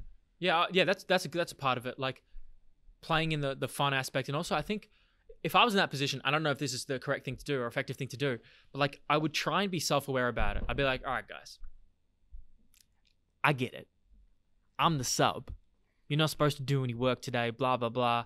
And I'd try and play off that or the self awareness of like, I know what usually happens here. I know how you guys treat it. Fair enough. But let's meet in the middle. That was my script literally for like the year or two Really? I was, yep. And you can't, well, well, within reason, you can't be as more real than that, can you? Yeah. I'm acknowledging, all right, I'm not usual teacher. Theoretically, there may not be any consequences you don't do your work. Yeah. You know what it's like. Yeah. But how about we just get it done? Do this solid for me. If you want to listen and watch YouTube clips after it, fine. And a lot of the time, I found that they appreciated the fact that I was upfront with them and said, in the whole scheme of things, guys missing today probably won't kill your life, but let's just get it done. And then they realize that they can ask me questions, they can do work. It's not just sit there, don't talk, don't whatever. And then I build a rapport that way. And then when I start doing my own class, you know, as years go on, Mm. you start refining your own flavor and you build your own brand and Hmm. you know it's just really the way it goes but it, it's that opportunity to be able to you know see our team it, it makes you it really makes your bones you know what i mean because like i said if you typically because i used to teach high school year nines and tens are almost like the most notorious because they're 15 16 year olds you know what i mean? Like they're too old to do some things and too young to do. they're that middle group. So if you can really build rapport with them you know what i mean? Then you're really doing a solve for when you start getting those challenging kids in your class that you're like i haven't got one day this week with them because i'm at this school for this week. Yeah. i've got five days a week for 40 weeks. You know what i mean Man, you've learnt a lot in that position. You For would. sure Um, I, before we finish up, I actually wanted to ask you because you weren't originally going to come on, Mm. but then you told me you watched Ivan's podcast. Ivan, uh, uh, you guys can look it up. It's like number eleven, I think. Um, what made you change your mind after watching that? Curious. There's literally one part where he said, I act without fear of judgment. I think he said something along those lines. And I thought, why not? Yeah, You know what I mean? Because that's it. it's not like, what have I got to lose? But it's, and see, like, I was having a conversation about this the other day with a few of my colleagues that it's not the fact that I didn't want to tell anyone what I had. It's more like it's my business. It's, you know, me having CF because at work, no one, no one knows. Really? or no one knew. Maybe they know now, but it's more like that's my business, and you go along with your lives, and I'll go along with mine, and Yeah. I'll just whatever. It, it didn't mean that if people approached me and said, "Hey, this is what I heard," like, is is I'll have a conversation, to answer anything they wanted me to answer. yeah, but you're not Well, going out of your way. No, Yeah. you know what I mean. And that's the way I lived. And I thought the second part to listening to Yvonne about f- acting without judgment or without fear of judgment, and, and you know going on to what you're, you know, trying to achieve what you want to achieve with your goals. You know, I always tell my kids they got to step outside their comfort zone. I can't be telling them, you know, Yeah. I, I hate that saying, "Do as I say, not as I do." Shit, So I've got to lead by actions. Good for you. And I'm sure at some point, and none of the kids at school know that I have. I've lived with CF. I've had a transplant. Maybe they'll watch this YouTube clip, mm-hmm. and you know, ex students that are now at the high school might come and go, "Hey, I hit you up on YouTube or whatever." So you just don't know. Like, yeah. there could be someone at the high school. Because in my experience, people that have approached me and asked have usually known someone who's had CF or has got it. And they're like, oh, you know, this is what they do. How have you found? And then the conversation opens up. And if I can help them in that way, then great. You know, I've, this, you know, it's, while selfishly I'm like, I want to learn everything I can from you and your podcasts. I suppose on that flip side, maybe someone watches and go, man, mate, I'm having a, tra- I'm, I'm listed for a transplant maybe I'll hit up George on Facebook or whatever and just and ask him or whatever. You know what I mean? if that's a byproduct of this conversation, then I will be super happy Yeah. because that's one reason why I wanted to chat to you. So to like give you a platform and to just bring some awareness to, to a unique issue that I'm sure many people have gone through and will go through. And so I appreciate you, George, coming on. Um, unless you got anything else you want to comment on or like, or just tell where people can find you if they can find you anywhere. You know what? Because I know you you're low key on social media, so you don't. No, I, I, and that's true. Part of that is because I don't like really being on there much. Like I don't need to tell the world that I'm eating Cocoa Pops for breakfast. And time- Fuck, Cocoa Pops taste good, And so, man. uh, I've got They're like, deadly though. got a nice box at home. It's great. I know. Part of it is also safety as a teacher because the moment kids find your profile, then that becomes an issue as well. So, Why though? I never understood that. well, because you can't, I suppose, Can we be friends? well, you think you can be The in a normal government says no. well, the problem is, though, I suppose people in the past have wrecked it. There's been a lot of people who have done inappropriate things with students who have been in teaching positions, and I suppose with the situation is now, you can't be in a room with one student by yourself. I understand. You can't talk with, you know, a student online, even if it's innocent conversation. Like I've, I've just said, like, you know, my policy has been like, we are not friends on the internet. At school between nine and three fifteen, guys, whatever you need from me, I'm here for you. But you, you absolutely just cannot have that relationship outside because I suppose in past things that have happened, it's just too risky and you can get yourself in a lot, a lot of trouble and then mud sticks and you're done. Mud sticks? Mud sticks. Oh, right, mud sticks, right. um, yes, fair enough. Um, in that case, we'll we'll keep it low key. That's why ch- ch- ch- teachers change their name on social media. Um, but look, Yeah, look, if people want to get in touch with you and Get wanna through you, message me or whatever, that's you know, fine. that's absolutely whatever. I But- mean, yeah, it is what it is. Um, hopefully, people have taken value from the conversation, especially past students, future students. I mean, they know your full name, so maybe they'll find it one day. I'm sure they will. I appreciate you, George, coming on. man. Thanks so much, man. This has been awesome. Thanks so much for for posting all what you've been posting with all the different people, man. It's been great. Man, I can't wait for more. Absolutely. Thanks, George. Thank you.